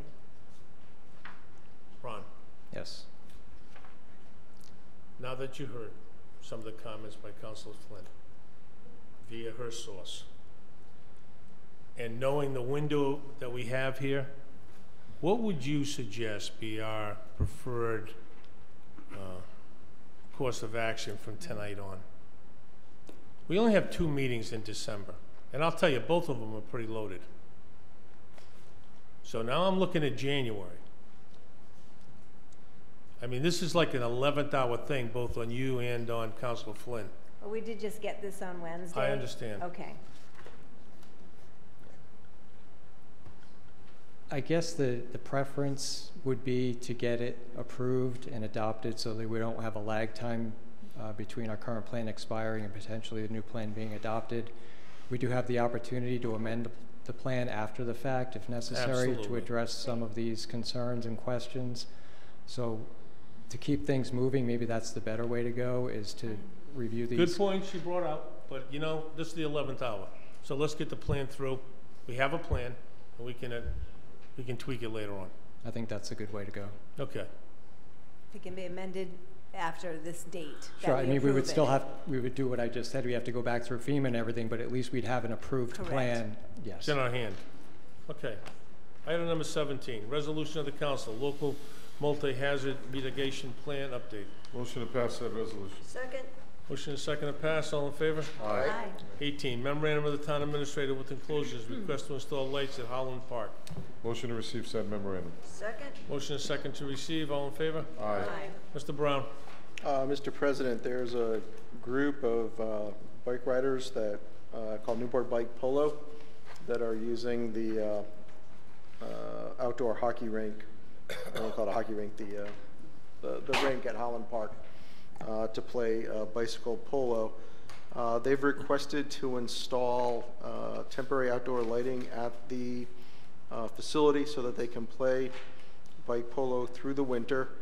Um, And then along with this request, they're seeking the town to consider, at some point in the future, a capital improvement so that the court would remain lit um, throughout, you know, on a, on a more permanent basis. What they're proposing right now are temporary LED lights uh, with a generator uh, down the road that the town would install uh, lights on a more permanent basis.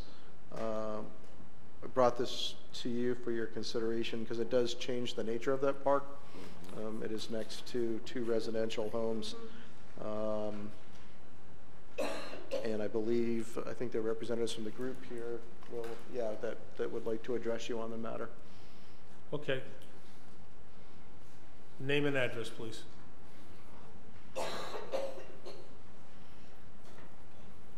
Tice Botinas, uh, 27 Garfield Street of Newport, Rhode Island. And? And we are requesting that we can, uh, requesting permission to install temporary uh, lighting as a proof of concept that uh, eventually maybe the town Middle, uh, uh, town the, the town will eventually take up our, our claim and put up a more permanent uh, lighting situation. Okay. Mr. Brown, do we have an estimated cost on this? Um, I don't at this time. Uh, So I, I think initially for the temporary lights, obviously the cost is on, uh, to be borne by the, the bicycle polo group. Um, Well, you just said well, we were later on gonna put a Right, I would need. to- permanent structure up there. We, I thought we was Middletown. Yes, I, I would need to get a, a cost estimate for that. Okay. Um, How large is this group of people you have? Uh, we've got about 30 members on our club. Where do you play now? We, we play at Howland Park. And You want to just stay longer and play? we want to, well, it's, it, with daylight savings, it's uh, a little bit harder to, to play at all. Um, so yeah, we, we request just uh, the ability to install our own lights um, that could be taken down anytime and of our own. When you say responsibility. install your own lights, you're going to pay for the installation of these lights? We have uh, four floodlights that can be installed and di- disinstalled uh, very easily, and we just uh, request permission to install them uh, just on a temporary basis. I'm not really sure how this would affect the neighbors in the area with these floodlights. Uh, So, uh, I don't know how it would affect them, or even if we should entertain this request. We, Um, yeah. We've been in conversation with the neighbors that are around the park, and one of the things that they have expressed to us is that they enjoy using the park and they have no problem with the lights that we have brought out and disassembled and disassembled. Um, we just request that we can keep them up on a more temporary basis. Have you been using lights now? Uh, yes. We install them and then we take them down basically. Okay. We'd like to just keep them up for the winter time. So why wouldn't we want to keep that trend up? Why are you looking at the town to put more permanent lights up for you? Uh, we just want approval from the town to keep them up for like a temporary seasonal basis, um, just for the just for the winter time essentially. So how, how- long do you expect to be playing out there this winter? Uh, all winter long. We- Really? yes. We've been playing for two years now, and it's it's everything that we do is basically you know we, we play and we play once once a week, sometimes twice a week, and uh, it's yeah we it's uh, it's been it's, it's it's like our our club's thing is to play during the wintertime. Mr. President? Councilor uh, Santos, you're uh, right behind the vice president. Go ahead. All right. And I'm going to maintain the batting order. Vice president, you're up. Thank you. So, if you go back to the councils of late eighties, early nineties, when they established that park, um, that park was established, and I believe it's in writing, as a passive park. It's evolving to more than that. It's not like, I know Sean's looking at me and listening very closely, and Mrs. Kelly, it's not like the sports complex we have over here at, at Gaudet. This is a very small neighborhood. It was developed as a passive park. I'm afraid if we allow this, then we have another proposal that's gonna be continued for something else over there as well. That's you, that they're using then as well, uh, pickleball or, or pickle polo or pickle whatever, I don't know. But I, I think we need to be careful here. And I think, you know, you know, I think you're already using lights, which you probably shouldn't. I know you probably didn't know until someone, probably they raised their hand and said, hey, you know, we need to go ask permission, or somebody complained, I, I don't know. But I'm not gonna support this. That, that's a passive park, that was for kids. It was a small basketball hoop. It was, that that rink wasn't even there until maybe 15, 10, 15 years ago, and they, it was just flat. And then Tom Welch and the Cub Scouts or Boy Scouts enclosed it and did some work on it. Um, I don't see it being used a lot. I see it being used a lot uh, for little kids and families that go out there. Um, I'm a Middletowner, and, you know, I- I'm not saying people from out of town can't use it, but that's what it seems to be developing. I grew up, I went to that school when it was a school, and I drive by there all the time, and I see a lot of Massachusetts license plates in there. So I think it's being used more than for just Middletowners, which is okay to a certain extent. But again, it's developed as a, it's developing into more than just a passive park, what it was actually designed for. So. Thank you. Councilor Santos. All right, I'd like to ask you some questions, if I may. Of this group, are you all Newporters? We are not all Newporters. No, we have some Middletown residents uh, with us tonight. Why haven't you found a park in Newport? Uh, because there is there are no parks that are like the one in uh, at Howland Park. All right. This is a very unique place on the island. What are your hours? That we play? Yes. We play from 6 p.m. to uh, 9:30 p.m. Okay. You have liability insurance in case somebody gets hurt? Or We- are you figuring the town's gonna pay? No, we do not have the liability insurance. Mr. Brown, do they have to have liability insurance? Uh, no, it's a park. It's a park. So if anybody gets hurt, they can't come back and sue us.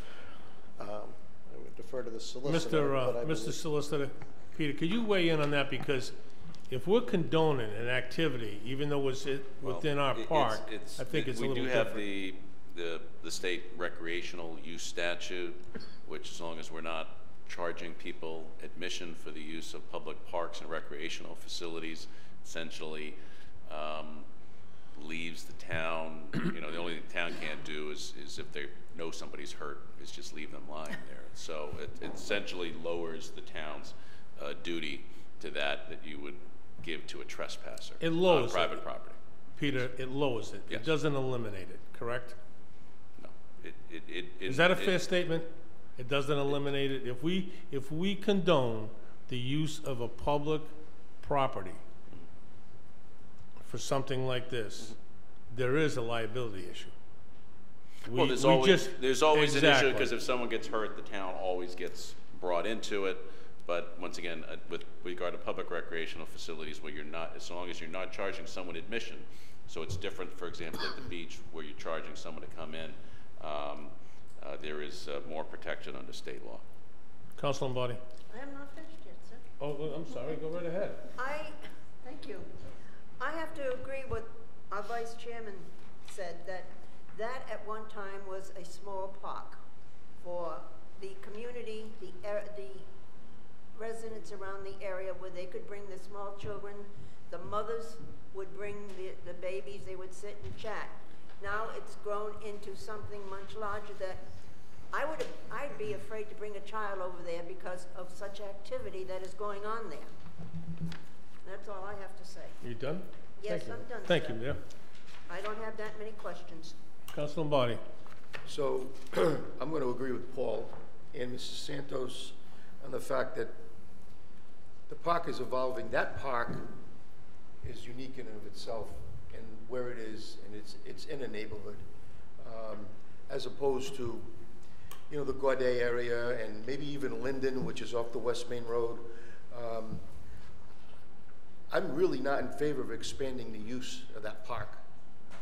And, and I don't believe, whether it's pickleball, or whether it's bike polo, or they use it for street hockey and the, uh, the you know, it's just getting to be more and more and more, and I don't think that was the intended use of that park, and I was not part of the council when that happened back in those days, but, um, I think it's just not the right spot for it, particularly with lights and at night, you know, it, it just doesn't, it doesn't fit. Um, there are other places, I, I mean, I guess maybe there aren't, I don't know, I don't know. But, and, um, I'm not about, you know, go to Newport or go to Portsmouth or go somewhere else, but, um, it's a, it's a Middletown small park, and I wanna keep it that way. So, that, that's, that's all, I just Thank agree you. with my fellow. Council Flynn? Um, Thank you, Mr. President. I, I would like to have some of these sentiments mirrored towards Third Beach in the future conversation, but that's for another time. Um, So I, I'd like to support the sport. I, I think it's kind of cool. I think kids are looking at that and saying, wow, that's neat, I'd like to try that. Um, But I, I have some questions, concerns. Uh, Your hours, I, I didn't know if the park itself had hours, if our public parks have hours, if they're sunset, sunset to, or sunrise to sunset, or if they have posted hours, or if just whenever you want to go. Do- Does anyone have an answer to that? Do our public parks have hours? We don't. We do not, so they're twenty-four seven. Okay, um, and six, six PM to nine thirty PM, I assume you have to start at six because people have to get off of work. Is, are the games or games, do they take that long, like Little League Baseball with the, with the young ones? They, they go that long till nine thirty? We usually play until like after we get off of work until about 9:30 is, is the time that we usually stop. Okay, because if you've got young children in that neighborhood, that's pushing it for, and I don't know how much noise that makes. Um, uh, when I lived in Newport, one of our backyard neighbors put up a skateboard ramp in their backyard one summer, and it was like Chinese water torture. um, because it was the skateboards on the ramp, and they were well into the night. We were good neighbors, we tolerated it, but I, I can empathize with that. I'm not sure what kind of noise you guys generate. Um, if they don't mind the lights to date, apparently you can bring them in and take them down, that works. Um, but I wouldn't want to expose our residents to an annoyance. I, I- I think that that's critical. I, I think you've been very polite about how you're doing this. Thank you. Um, but it does have to be long-term work for everybody. Um, and I did notice on the, the pickleball contingents package that we did get to review that um, they were did not request lighting on purpose in, in deference to the neighbors. They actually did not request that. So it is sort of a, a sticky issue. Um, and so I'm, I, think that you're probably good to go as you've been going. You may have to just put your lights up and take them down. Um, I don't know, is there any, if, if the town approved lights to go up and stay there or put in lights, would there be any additional liability? Because we're providing, uh, you know, a space that, that can be used for activities after hours? And if one of those went out, you know, would we be liable for anything? Sorry. Um, I apologize, I'm sorry.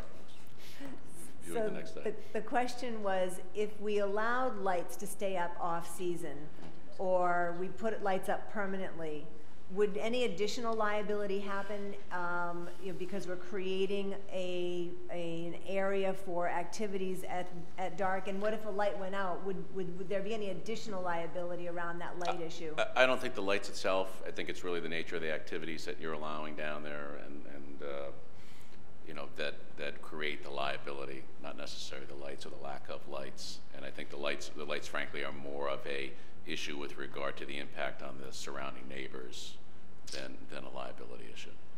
Okay. Um, so, uh, so, so those were sort of the, the overall questions, and I, I, I just want to kind of throw something out that, you know, tonight we've had, uh, you know, bike polo here, we've had um, the pickleball here, and they're coming back, and we had uh, the uh, fitness courts proposal and solicitation that came in under consent. And I didn't know if the council had an appetite to, to think about in the future an indoor facility for activities or a collaboration with the Y to expand um, and allow all of these residents that want to do things like this, you know, off mainstream, a place to go. And also for our, you know, with Middletown Prevention Coalition in mind, to give our young people someplace to go off-season and later at night.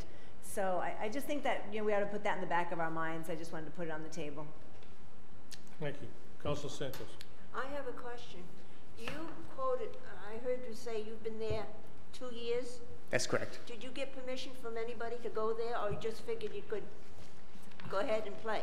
We started playing, yeah, in the spring of 2007. Did and you request any um, permission from the town, our administrator, our recreation director? Did you, or just go in and just started playing? because we figured it was a public park, we decided to use it like a public park. Oh, just like that, okay. Mr. Brown, do they have to get permission? No. No, all right. I don't It's a think public park. I don't think it's fair to the neighborhood kids or the residents around there that, um, someone can just take over the park and the other kids are left behind. The locals. Mr. Brown, have you had any complaints? I, I haven't had any complaints, um, and I did, I, I did, I guess the one thing I did before tonight, and it's, it's something I've addressed with the, um, will address with the league, there, there, there are social media posts where basically alcohol is part of the events, which is something I need to address with the group. So that, you know, bringing alcohol into the public park is an issue, um, which I believe we can address. I, I think it's, I think this is probably more of a, an issue with just not understanding what the rules are than, than something malicious, but um, there is that, again, I think, and it's sort of what the council's talking about, it's a different activity coming into a park that's been historically been used by families. Uh, Again, it's something just observed, you know, I observed last night looking online at what the club does, so. Um, So that's not a complaint, but an observation. Are you guys doing that? Uh, doing what? You didn't hear him about alcohol? Are you Uh, bringing alcohol? Because obviously if somebody's posted it on social media. So we uh, were sponsored by a, a beer company. We received money from a beer company to help our club promote our sport. And but no, we do not bring alcohol into the park. Okay. Okay. All right. But there've been no complaints. There've been no complaints about their, during this whole period of time that they've been using the park? No. Has any council received any complaints from any neighbors? Council Santos? Yes, I Council got two Turano? this afternoon. Um, I haven't received any complaints, but I know there's new construction going on over there. And honestly, I think that park has been neglected. I think we just recently put up a new fence over there. And I don't know, if I've seen it, I've been over there looking, there are playgrounds for the kids to play and stuff like that, but that rink gets a lot of work, a lot of play. So I don't know, we probably as a town need to look into that a little bit over there to see all the, because there's a lot of, a lot of time over there. I mean, you guys are there late night, you're there early morning. Yeah. So there's a lot of, lot of activity in that park right now. Council Santos, you want to share any uh, complaints? No, they were private. All right. So we'll keep them that way. Okay, next course of uh, action.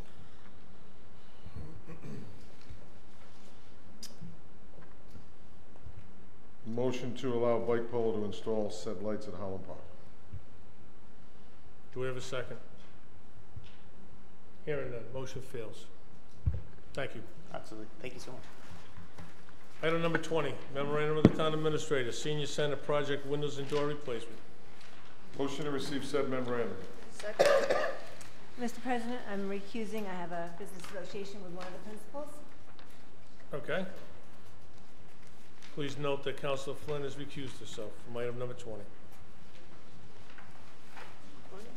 Okay, we have a motion and a second to receive. All in favor? Aye. Mr. Brown, Mr. Viveiros, I know you want to speak in regards to this. Uh, The senior center uh, and the town, uh, we've been working uh, for the past several years at replacing windows in the, the senior center uh, building. Uh, The current windows are are vinyl replacement windows. They are, are not structurally sound in the sense that they, um, they leak, uh, they don't work well. And the reasoning for that is that um, if you look at the windows at the senior center, they're, they're incredibly large. Um, the vinyl windows themselves uh, probably shouldn't have been installed in the first place. Um, you actually need a, a window frame, a window unit that's designed to uh, hold the weight of the window uh, itself, um, which is causing really, I think, the bulk of the issues. Uh, So we had gone out over the last several years looking for money from the CDBG program. Uh, We've secured roughly $85,000 in grant funding. And uh, we're at a point where we need to utilize that money uh, because it's, uh, it does have an expiration date on the, on the grant proceeds. Uh, We've been working with the Newport Collaborative Architects, who we've worked with before, um, to look at putting together a bid package to replace the windows at the senior center. Uh, we have an estimated project cost of $306,000. Uh, but we're, we're at a juncture right now that in order to complete the stru- structural review, the bid package, and the bid specifications, uh, we would need to engage uh, Newport Collaborative Architects uh, to finish that work, which would cost the town roughly $31,000. And that's the recommendation that I bring forward to you tonight. Uh, we have expanded our original work slightly to include replacement of the five doors um, that are at the senior center. Uh, they take considerable effort to open and close. Um, we would look to, with the addition of the windows, look to replace those doors. It would be part of the bid specification uh, with doors that um, are appropriate for a senior center that, that our, our senior residents can open and close easily, um, as well as provide energy efficiency at the building. So uh, that's, that's the purpose of this docket item. We're asking for your request at this point uh, to support the hiring of Newport uh, uh, collaborative architects to assist us in preparing the bid package. And that is the cost of what again? Thirty-one thousand? Thirty-one thousand, so, and, and that would also, besides those services, include uh, inspection services of the project uh, once we go out to bid. Uh, Once the, once we've awarded a contract and the work is, is being completed, so uh, this would be from the beginning to the end of the project. Okay. Council Lombardi? Sure. The doors, I'm gonna make an assumption that, that they are handicap accessible doors, they're automatic doors also. Um, They're not. They, they would just have hardware. They wouldn't have the, the automatic hardware. That would significantly increase the cost of the project. Do we have automatic doors there? No. No, we have the doors that you literally have to throw your hip into to get the panic bar to activate to get through. Like, so, but we did this last Friday when we were leaving. It, it takes a considerable effort to get in and out of the doors. So uh, we would look for a, a, a door that, that has the proper hardware for someone who's older to open as well as the, the assist. But it, it wouldn't be the, uh, the push button doors, handicap doors. Why, why not? Why don't we use, why don't we do that? Don't you think it would be, I mean, Arlene? I'm, I'm just asking. I just think it would make so much, it would make sense to at least have one, one handicap accessible door, if not, I mean, you know, I know you got five, you said. Mm-hmm. Especially the one with the ramp. Yeah, I mean, do you think? That should be. We, we could add that to the bid, you know, and, and get a price for it. Just The ramp door absolutely does need that, because when someone's trying to come in with the walker, they're trying to hold the door, and, um, because it's a very, very heavy door, and get themselves in at the same time. There's people all around all the time, so we always assist people as much as we can, but the ramp door definitely would need, would warrant that. The other doors um, just don't meet code either. They were there when the original renovation of the building was done in 1989. Um, So that's what we've lived with till now. I'd, I'd like to ask that we include in the bid the addition to a handicap automatic door where the ramp is. We can have that. Let's, yeah, let's just see how this goes from here. Councilor Veras, you wanted to make some comments on this?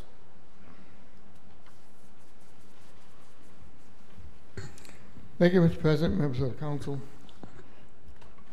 I'm not opposed to this project, just trying to place it in the town financial picture. Therefore, I have several questions. Is this project in the capital improvement plan? Because I've checked, and the only project I see for the senior center is on page 151 for kitchen equipment.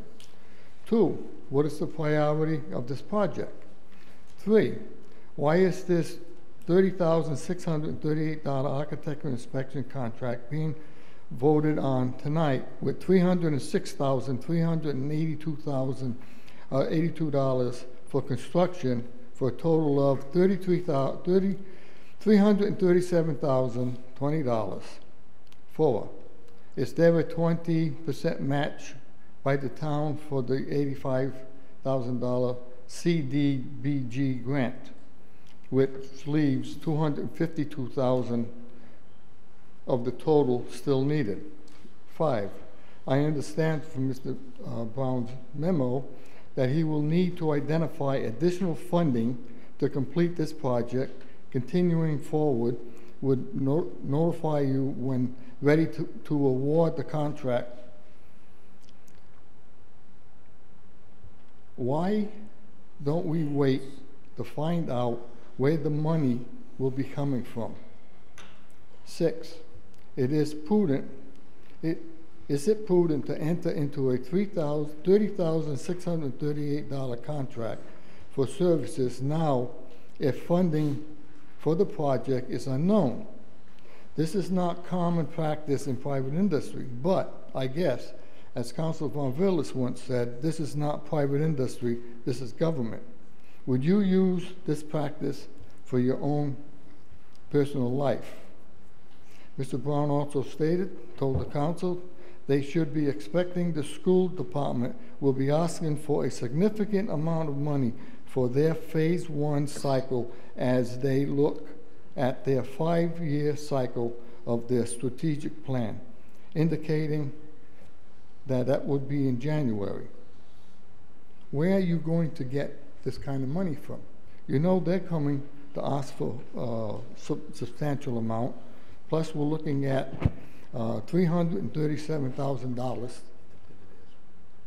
I mean, Mr. Brown also stated that uh, at the October 21st meeting, that told the council, has mentioned that more money should be put into roads, which Councilor Rodriguez had previously suggested when the $5 million bond was discussed. I- I mean, I'm not against the, the, the project, but I think it would, would, it, this is not, if if this is not a mandated item, perhaps it should be deferred at least until you have all the figures and you have a mechanism for the money instead of doing this and then looking for the rest of the money. Therefore, I'm going to ask the council to reject this proposal. Thank you.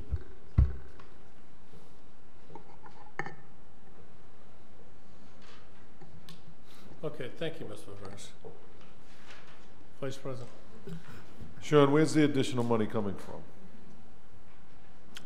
I think we're, we're looking at a, a couple of, of sources. I, I don't have it totally identified. The worst case scenario, as I sit here right now, as I would suggest to the council, um, well, we- would probably look at the funding that's been set aside for the West Main Road, um, possibly as a funding source, since that's readily available.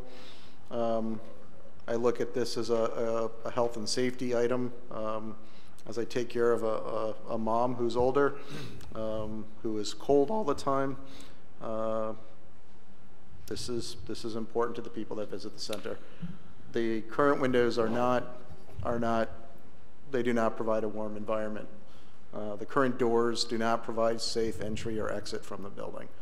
Um, and there's an opportunity with the grant money that the planning department in Arlene have been able to secure where, you know, if I'm looking at it from the resident standpoint, I can make these repairs that I think are critical, which is why I brought it to your attention, um, you know, essentially for 60 cents on the dollar, which is, you know, I think if you were home and making decisions on making improvements to your own house, if you can get a 30, 35% discount on fixing the doors and windows, it's something that you would look at twice. Um, so uh, that's one area. I would work with Mark to look at the other capital, the capital improvement program, um, just to look at where we are from a cash flow basis. Some projects, as has been discussed, some projects move faster than others. So from a timing perspective, there may be an opportunity to fund the project from there also. But it wouldn't come from operations. It would come from our capital program.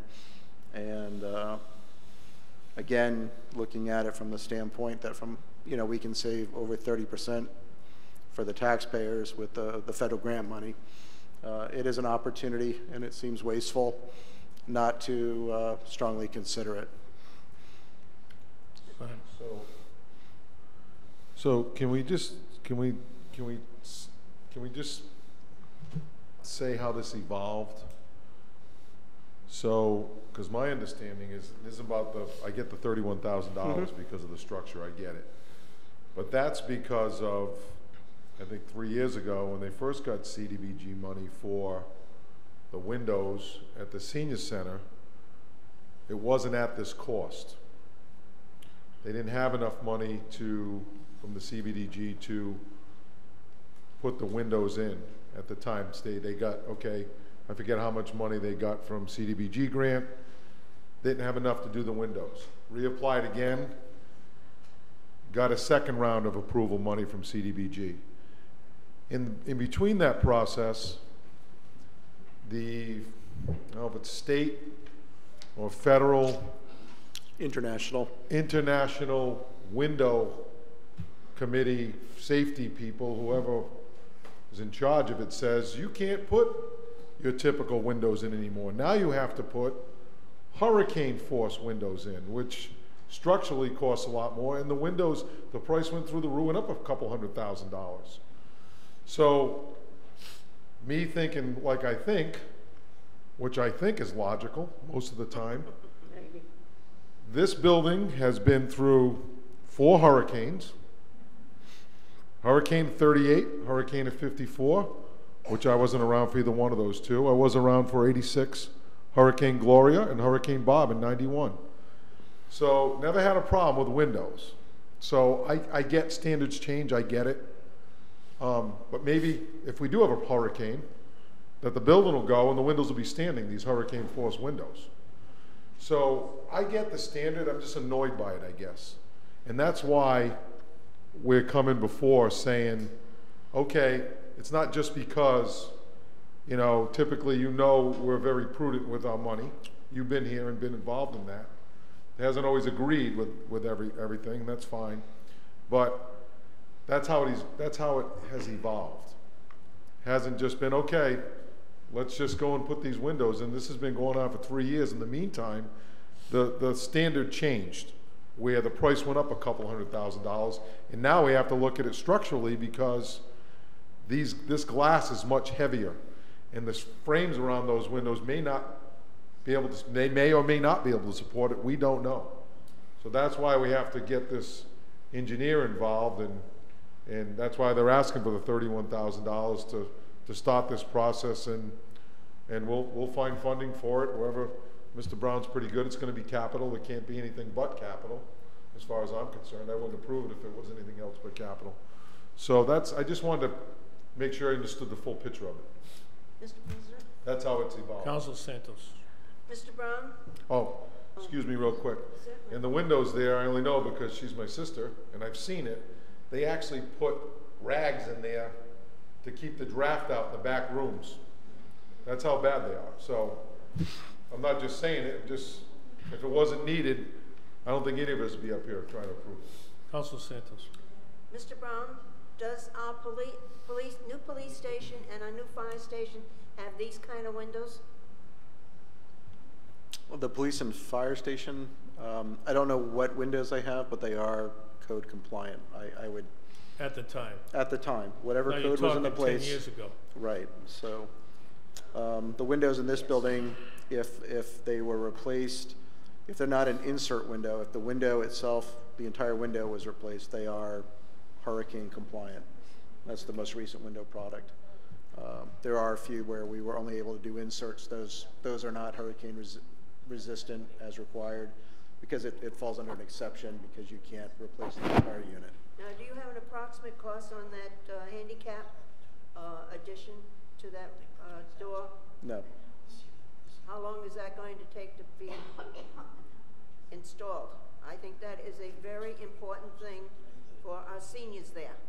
it would be part of the bid, the bid spec prepared by the architect and a part of the award, the, the bid award, so, with the project. All right, Mr. Brown, here's my problem tonight. Safety issue, your lips to our ears, right? Mm-hmm. Safety issue for our, our seniors. Why tonight are we hearing this safety issue? Why, why have, if this has been a safety issue, if they've been sticking rags into windows to keep the cold out, why haven't we addressed this earlier? Why are we waiting to tonight to address this? I, I think the effort has been to try to secure the funding so that we could do it mostly with the CDBG funding. Um, the original project, again, sort of going back in the, the time machine, uh, was to focus on the back windows of the building where the problem was the worst. Um, as we've discussed this over time um, and reviewed it, uh, the scope of the project has continued to increase, you know, to getting to the point of tonight of, you know, at least my recommendation, we do doors. We added a, a handicap door on it. Um, I think we're all trying to be um, careful in spending dollars during these times and, and trying to balance it out. Uh, and, uh, you know, we are at the point now where uh, to do it right, to, to implement the, the type of windows that we have to, um, we, we do need to get an architect in place, and uh, we simply can't get more money for the project. We, we need to come to the council and uh, ask for that variance between the uh, $86,000 that we did secure from, with grant money and the, the total project Right. cost of the Well, here's my- 300,000. Here's my point. Over the years, and I've sponsored a lot of them, when we wanted to cover the, the walkway going into the senior home. We wanted to put a walking track around the senior, for, for our seniors. This to me is serious. Entry and exiting out of that building is serious.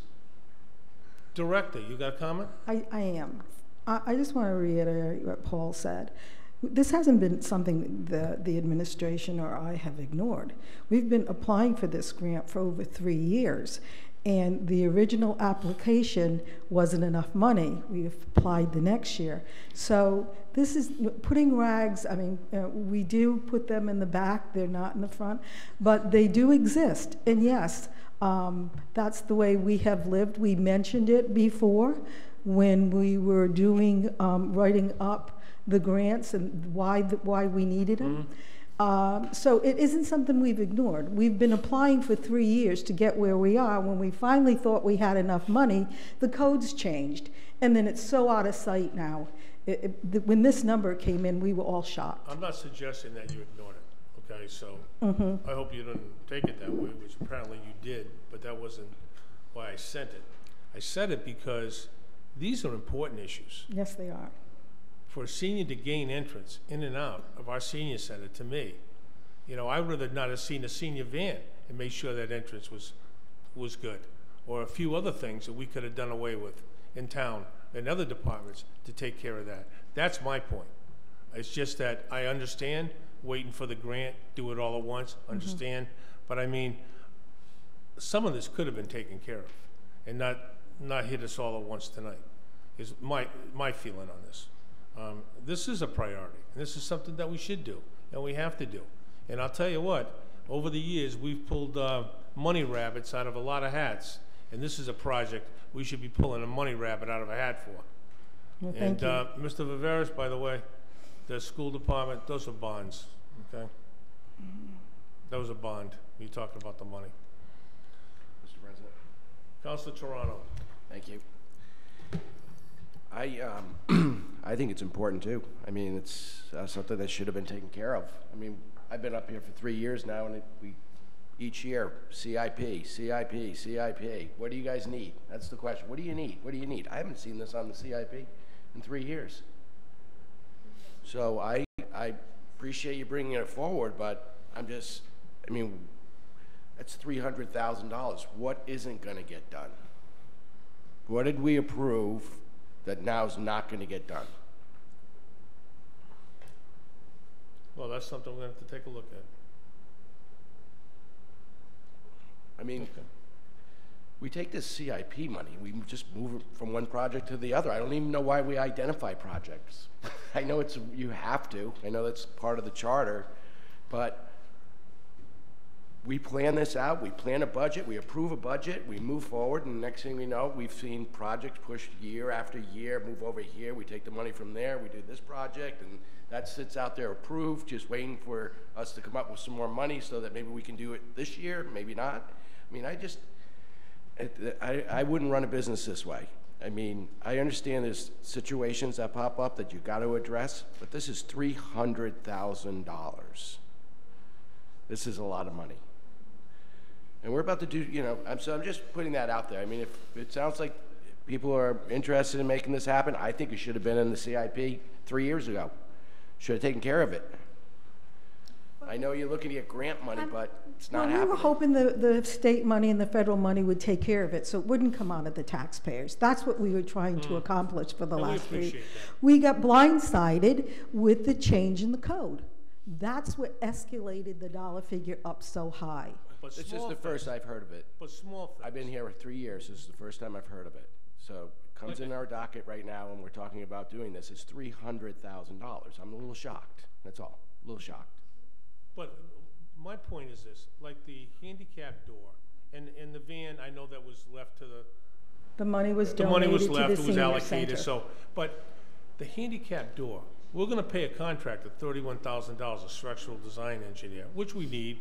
A structural design engineer, but you know, what at the end of the day, what would it cost us to put a handicap door on that ramp right now? I have no idea. You know, y- you have accessibility with your van, you'd have accessibility with people with walkers. It'd be one place that they can come in and out of unassisted. Unassisted. if they needed it, unassisted. Mr. Brown, I'd like you to look into that. Into what? Into the, into the, um, the handicap door on the ramp, the back ramp. If we could install a handicap door there. I think you already directed me to make sure it's part of the, the bid. Yeah, but I'm saying today, if, it's separate from, you know, to look into that, it's something that we could do within a, a short amount of time. Okay. Outside of this bid. Yeah. Mr. President, just want to say one more thing. I don't want people to think I'm, I'm not wanting to take care of the senior center. You know that's far from the truth. We're going to do a lot of renovations over there, hopefully, at some point. But I think this is something we've got to address because it's definitely a health issue. And so I'm not sure what's not going to get done. I guess Sean's going to tell us what we're not going to get done. I think we put 1.2 million towards the beach, but I think that can't be used, right? It's restricted, but. Okay, go ahead. No, I'm good. No, good, okay. Item number twenty-one, resolution of the council award of the contract architectural and structural engineering services for the senior center window replacement project. Motion to pass said resolution. Second? We have a motion second to pass. Any further conversation? Yeah, I, Yes, to include the. Council Von Villas. Yeah. Probably for the first time, I agree with Mr. Turano. Hey, write that down, Karen, you got that? I do. I, I am very concerned, not about the, not about the, the grant money. I'm, I'm concerned about all of a sudden in December, we're talking about committing three hundred thousand dollars when we don't know where the money's coming from. Hmm? That concerns me. I mean, if we're, if we were to put that, and I certainly think the project is great, I have no problem with the project. If we were to, we're always asked what should be put in the CIP. Well, this looks to me like this should be put in the CIP, not this should be taken from other things that have already been allocated in the, in the CIP. So, so I do have concerns about that. Um, I, I would like to know where the three hundred thousand dollars would be coming from exactly. Not, oh, well, we'll find it somewhere, but where exactly would it be coming from? Because quite frankly, I support what's in the CIP right now. Maybe going forward, another three hundred thousand for this particular project is great. I don't have a problem with that. But please don't tell me you're gonna take three hundred thousand dollars from something that we've already committed to down the line and, and use it in a different place in December. Well, 'cause that's what we're talking about, December. I agree. Mr. Brown, I got you. The vote tonight is to hire the architect so that we Mhm. can develop a scope, a bid package. It will go out to bid. I'll come back with the price. We'll identify the funding for the project. The reason that this uh, discussion is accelerated is, again, the eighty-six thousand dollars of grant money secured. Again, an effort between Arlene, the planning department, my office, to try to get this down to a project that didn't cost the taxpayers money. It, it is going to expire in the, in the next six months, so we have to start working on it. So it's not a, not a three hundred thousand dollar project, it's a two hundred thousand dollar project, it's still a big number. But we, we are, again, the goal has been to manage the cost the entire time. There are times when this has been in the CIP under different titles where we've struggled with um, air conditioning and windows and doors. Again, uh, to, at that hundred thousand dollar price, which again, with the change in code, has made this much more expensive. When you put the, uh, the, it's not just the window that you've got to change, you've got to, you've got to make building improvements so the window stays attached to the building. That's what's driving the cost. Um, I, I, I, I hear what everybody's saying. I, I think it's, it's manageable though. Um, and that's, that's But in the interim, you're gonna find out the cost of that, that ramp door, As you point at me, yes, I am, sir. okay? Okay, because that's important. No, I I'd like to agree. get one door that, and that's the door. Would you agree, Director? That's, that the, our seniors can come up to unassisted and gain entry into our senior center. And I think it's very important. So we'll get that. Um, no questions from the audience. Sorry. Okay, go ahead. So Sean, even if, um, even if you find the funding for it, which I'm sure you will, um, and once you identify it, what, what is the time frame for this project? The reason I ask, because if it's, this isn't something that's gonna happen till the spring anyway, maybe it could be put in the budget. for the Mhm. CIP. Which it should be. Let's get that door fixed.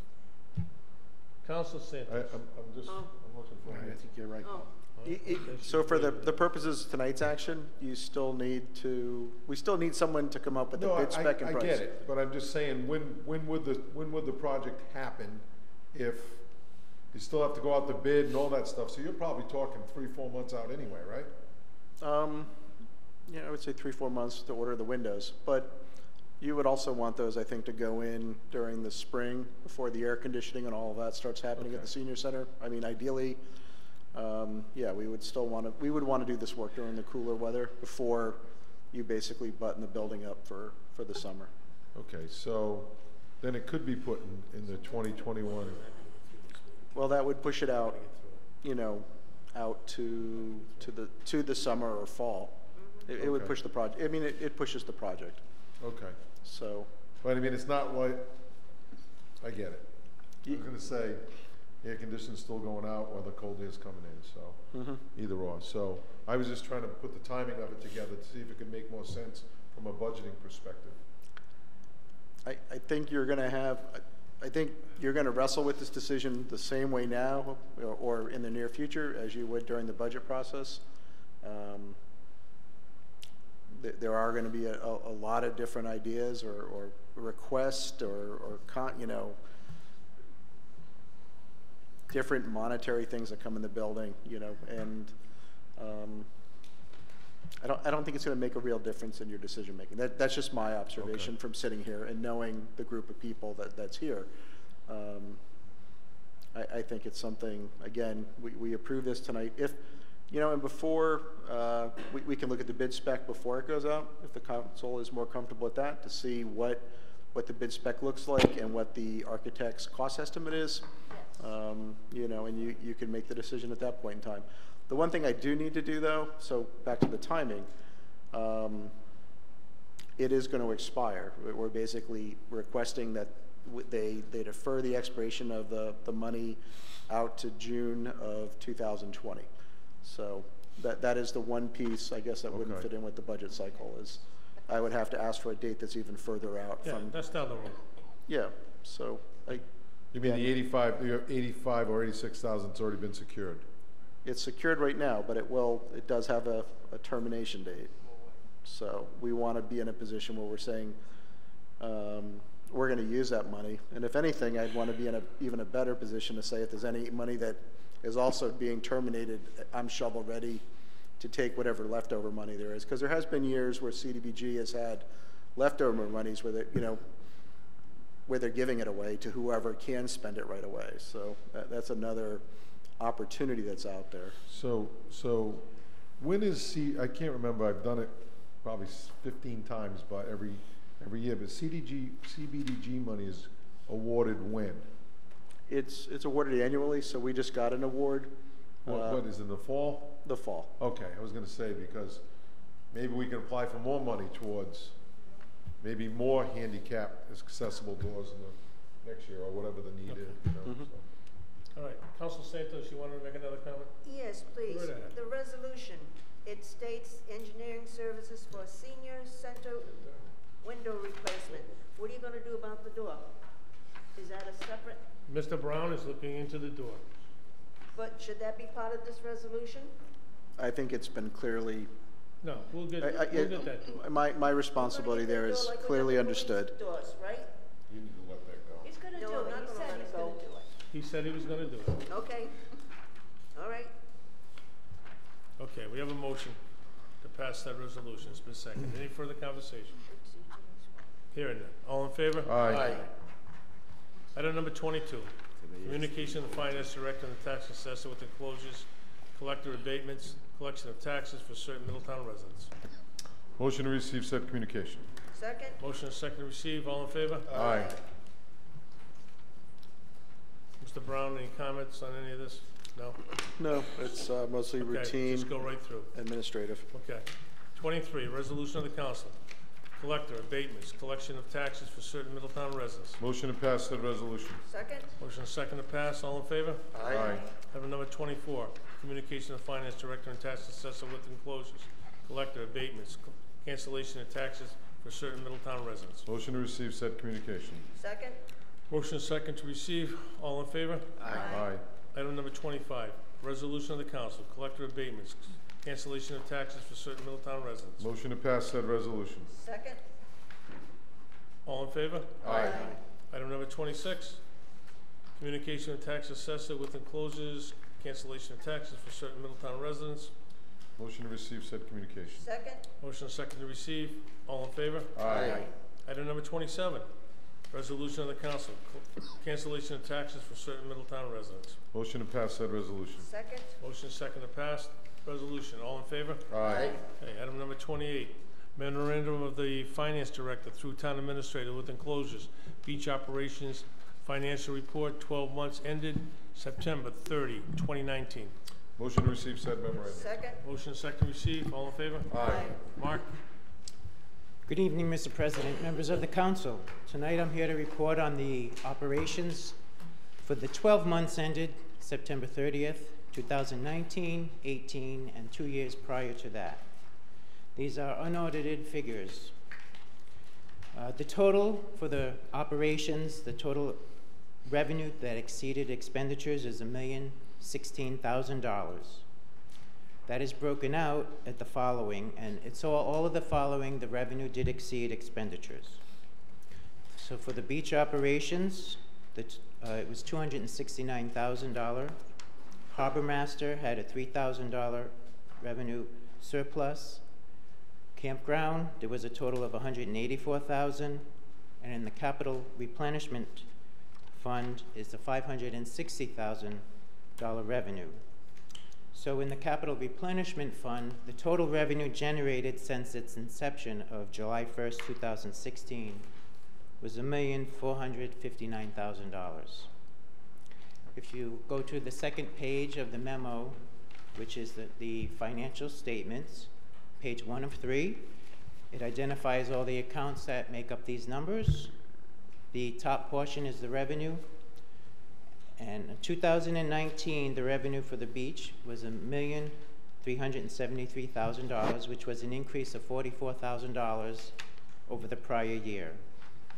In 2019, there was an appropriation from the Rescue Wagon Fund to fund boat upgrades for the harbor master. That was the twenty-six thousand one hundred and thirteen dollars, the first number. Your campground revenue was two hundred and twenty-nine thousand dollars, which was an increase of thousand dollars. Part of that um, had during the year you did increase the fees, so there was a switch uh, from the seasonal campers. We were unable to fill some of those sites that the seasonal campers did not come back, but it was filled with the monthly and daily uh, campers. And the harbor master revenue was thirty-three thousand, which was an increase of seven thousand dollars. Uh, After that is your expenditures. You have your beach operations first. If you, con- it continues on the second page, which includes the beach operations, the lifeguard, and the security. You had a total expenditures of a million three hundred thousand. Next is the harbor master operations of fifty-six thousand expenditures, and the campground expenditures of forty-five thousand. For a total expenditure for the season of one million four hundred thousand dollars for the net income of a million sixteen thousand as identified in the memo. Page three of the financials is, has it broken down as to each function as the revenue, which was exactly as identified at the beginning. Any questions? I have some questions. I'm disappointed with the net beach um, that went to the bank compared to some of the other departments. Um, When I saw these, I had to, I had to look at them a couple of times to make sure I wasn't making a mistake, and hopefully I'm, I'm not. Hopefully I am, I guess. Um, When I looked at the beach, um, when I looked at the beach uh, revenues, and it's on page one of three, when you look at it, and that includes the restricted income from the capital improvement, the 560, 560,500 you referred to, and that's the extra $5 we charge, that went to, to capitals, hopefully to either replace the parking lot at some point in time, and, or whatever capital uh, some council will decide. Um, and you said that since 2016 its inception uh, is one thousand, one million four hundred fifty-nine thousand dollars so far. Yes. Sitting there for capital for the beach, right? Correct. Okay. So when I look at the total um, net of one thousand sixteen, one million sixteen thousand dollars, Mhm. and then I minus that five sixty off of there, Yep. you end up with the four hundred fifty-six, which is four hundred fifty-six thousand, which referred to three thousand from the harbor master, hundred eighty-four thousand from the campground, um, and two sixty-nine from the beach. So I look at this and I go, two sixty-nine from the beach, one eighty-four from the campground. Um, and then you look at, when I really look at, Mark, the total revenue from the beach, on page one of three, under revenue, for two thousand nineteen, I see two million, four hundred and thirty-three thousand and sixty-six dollars. Mhm. So you're telling me out of that two million, four hundred thousand, four hundred thirty-three thousand, sixty-six dollars, we took home two hundred sixty-nine thousand dollars? From the beach part of it? Uh, that, this, the two hundred sixty-nine does not include the capital replenishment. I, I understand Okay. that. So that is correct. Okay. So, so, um, so when I looked at that, it just struck me as odd. And then when I looked at the expenses, and I specifically looked at the, the, the payroll, just regular salaries, in two thousand, that beach subcommittee recommended we went from hundred and five employees to seventy-five employees, right? So in two thousand eighteen, regular salaries eight ninety-seven, but in two thousand nineteen, they went up hundred thousand dollars. How could that be if we went down in employees? So there's a few factors. Okay, Uh, one that we, during the year, we had to increase the pay grade, the pay rates based on what the state increase was. The state increased all of the payroll, um, for their employees. and where, where does that show that line item here? That that- would be included in the salaries. But what was it? As a rate, it, it was all different depending on what position had. what's the number? Was it thirty thousand we went up for the year? Was it forty, it wasn't a hundred thousand? Wasn't a hundred, that's one of the factors. And I think we can come back, I mean, this question of payroll came up tonight just before the meeting, so we can come back with a breakdown of the change in payroll from year to year. I think that's the best way, we're gonna really drill down on those numbers, I think we should just have the So- opportunity to prepare to answer your Okay, questions. Okay, so fair enough. So I just want to throw one question out there is that, are we at, how many employees do we have? Is it seventy-five or is it not seventy-five? So, um, I ran a report prior, the council president asked me that question, so I went back to the office and we looked at, during the whole season, there was hundred and five employees, but a lot of those were not, were, um, not full-time. So the number of employees is, it Well- should be based on hours, Most of the employees aren't full-time. Uh, we're not full-time, They- they're not- correct? They've never been full-time, mo- the majority of them. It's a part-time job. The whole, the whole, the whole staff is a part-time job.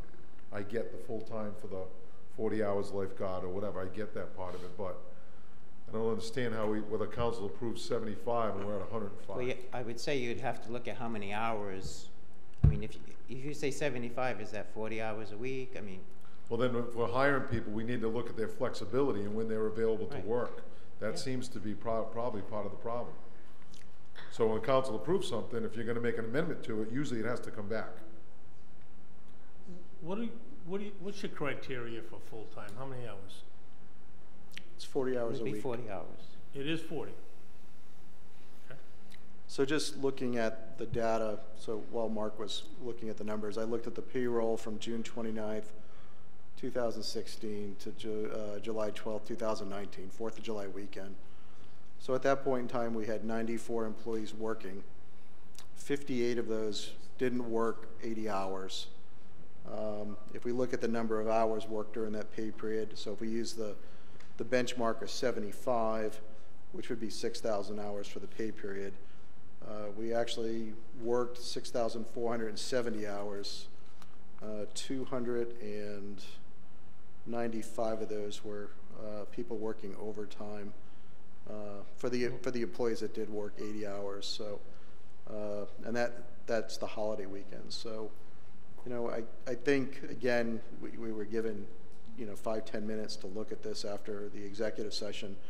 Um, the goal, the goal is then to stick to that, that idea that there's 75 full-time employees at the beach. Um, I know it's the council's desire that we find employees that will work the 40 hours, uh, but even with the aggressive recruitment drive last year, um, and I'm using that, that 4th of July week, um, only, you know, less than whatever, 98 minus, uh, 90 minus 60, 30, 30 employees actually you know, work that, that full 80 hours over that two-week period. Uh, and that's, that's, that's, you know, that's where we end up having to have additional employees, not full-time employees, down at the beach uh, in order to make the schedule work. I know that in, in my job, at certain times of the year that, you know, it's, it's, it's your Christmas, so to speak, where you're gonna make your money in seasonality. So I think maybe a suggestion would be when we hire people, there's a blackout period here. That nobody can be off, cause I'm sure people are taking off.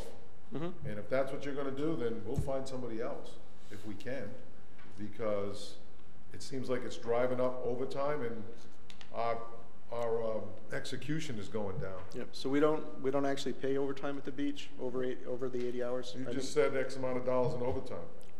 Like, oh, hours over, hours over. Okay. So, but the rate of pay is- isn't, there's not an over, overtime So rate of why are pay. they working extra hours? Because other people aren't coming or they're taking off? Yeah, exactly. Exactly. So, but I would say this, just this, and I'm not being, I guess I'm being a little bit critical because I'm upset about this. When you put the report, I know you gotta dig into it, I get it, and you see a payroll up hundred thousand dollars over last year, the lights gotta go off and go, somebody's gonna ask this question. Maybe I should have an answer. I, I don't know. I'm just, Well, I'm sorry for some my. of, some of my other items were, we we were understaffed the prior year, and we did have a lot supervisor this past year. That we You were didn't the understaffed the prior prior year? Maybe you were at the seventy-five the council approved. So, what did we buy? Small equipment purchase, fourteen thousand, thirteen thousand, nine, any idea? I'm sure we probably had to approve it, but it's, it's not coming to my memory. For the beach ops, I'm sure it was a lot of, uh, different i- lot of different items, it wasn't just one, but I, I can check. I mean, it's a I can pretty get good back to you. increase. Um, so, like lifeguard salaries, right? So the rate goes up, but it Yeah. only, only went up twenty-eight hundred dollars for forty people. So I don't know whether that other hundred thousand went up so much. I mean, I just, Mhm. if there's forty lifeguards and there's thirty-five or forty beach employees, we, we're missing something here. Um, I understand why the police went up a little bit and their overtime went up the last couple of years because we asked for more police Right. down there. I get Right. that part of it. Um, and so, I guess that, uh, that pretty much, uh, Mr. President? I just, I was looking for more. I got you. I think if we're doing that much in, in, in revenue, we really need to take a look at our expenses. We really, I mean, with the gen- revenues being generated, it's not like it's not. And I get that five hundred and sixty thousand of it is for capital, capital, capital. And I think that's the right direction, because if we have to replace a building, or we have to replace the parking lot, we don't have to go out for bond. Right. I, I think that's great that we've done that in the past. However, even still, I mean, there's, our, our, if you look at our profit margin, our sales are going up, so to speak, right? But our profit margin's going down by, from two thousand sixteen, before, maybe we should have just left it the way it was. We were at a thirty-two percent profit margin then. We went down to twenty-five percent in two thousand seventeen. Um, in two thousand eighteen, we're at twenty-four, and in two thousand nineteen, we're at nineteen percent. We're doing more money, but less profit. I mean, that's something we need to look at. Council Santos. Under beach operations, um, s- let's start off with town DC plan. I've been trying to rack my brain, what is DC plan? It's a direct contribution, so that's uh, from the state. Okay? State. What's the percentage of uh, Uh, FICA? The town DC is, is, is the 401A. I'm sorry? The, the 52220 is a pension plan with the town. The one above it, pension MERS DC, is with the state. No, They no, the to- uh, town DC Town. plan. What- Yep, what's that's the DC? 401A, that's the pension plan, That's a pen, with new, new employees. so They're are not- lifeguards and part-time people? They're on not, that, they're seasonal help. They're They're the- seasonal They're help. not the seasonal help that go into that line item. So who is under this DC plan? Some of the, some of your full-time employees are budgeted in here, which is also allocated. Who are the We have full-time- allocations. Who are the full-time employees down at the beach? Um, We can get you We the can get you allocation that. sheet. It's in your budget book also, but we'll Okay. get you the allocation sheet. FICA, what's the percentage taken out of uh, wages now? 6.2, Six point two? Okay, and Medicare is 1.45. okay, Medicare, all right. All right, that's all I have. I- Is it fair to say that some of our, or a majority of, or maybe not a majority of, our part-time people down there end up working forty or more hours? There are, uh, That's a fair yes, you statement? can say, I don't know the percentage, but there's definitely some, yes. Okay. And when we had the Monday nights at the beach, we also had some people stay. Right. Yeah. Yeah. Okay. All right. Thanks, Mark. I did like the else got any- format of the report, though. Thank you. It was very easy to follow, and I really like the profit percent, because I got my eye on that. Great. Thank you. We had a, a tick up in sewer too this year down here, at disposal, right? I noticed that. Yes, that's based on the water usage. Yeah. Guess we use a lot with those Yeah. extra showers, huh? And we even put a meter in there to minimize, uh, so it doesn't hit the showers. Yeah, I did notice that, it's a big tick up. Okay, thanks, Mark. You're welcome. Thank you. Thank you, sir. Okay, item number twenty-nine, boards and committees. Appointment of two members to the board, Newport and Bristol County Convention and Visitors Bureau. Terms expiring September twenty twenty-two. Motion to reappoint Robert R. Kempenaar II and Thomas R. McGrath to the Newport and Bristol County Convention and Visitors Bureau, terms expiring September 2022. Second? Motion second, any conversation? Hearing none, all in favor? Aye. Item number thirty, appointment of one member to the Senior Citizens Board of Directors, term expiring January twenty twenty, or term expiring twenty twenty-three. Motion to appoint Jeannie Matthews to the Senior Citizens Board of Directors for a term expiring January 2023. Second? Yeah, motion second, any further conversation? Hearing none, all in favor? Aye. Motion to adjourn. Second? All in favor? Aye. Thank you, ladies and gentlemen.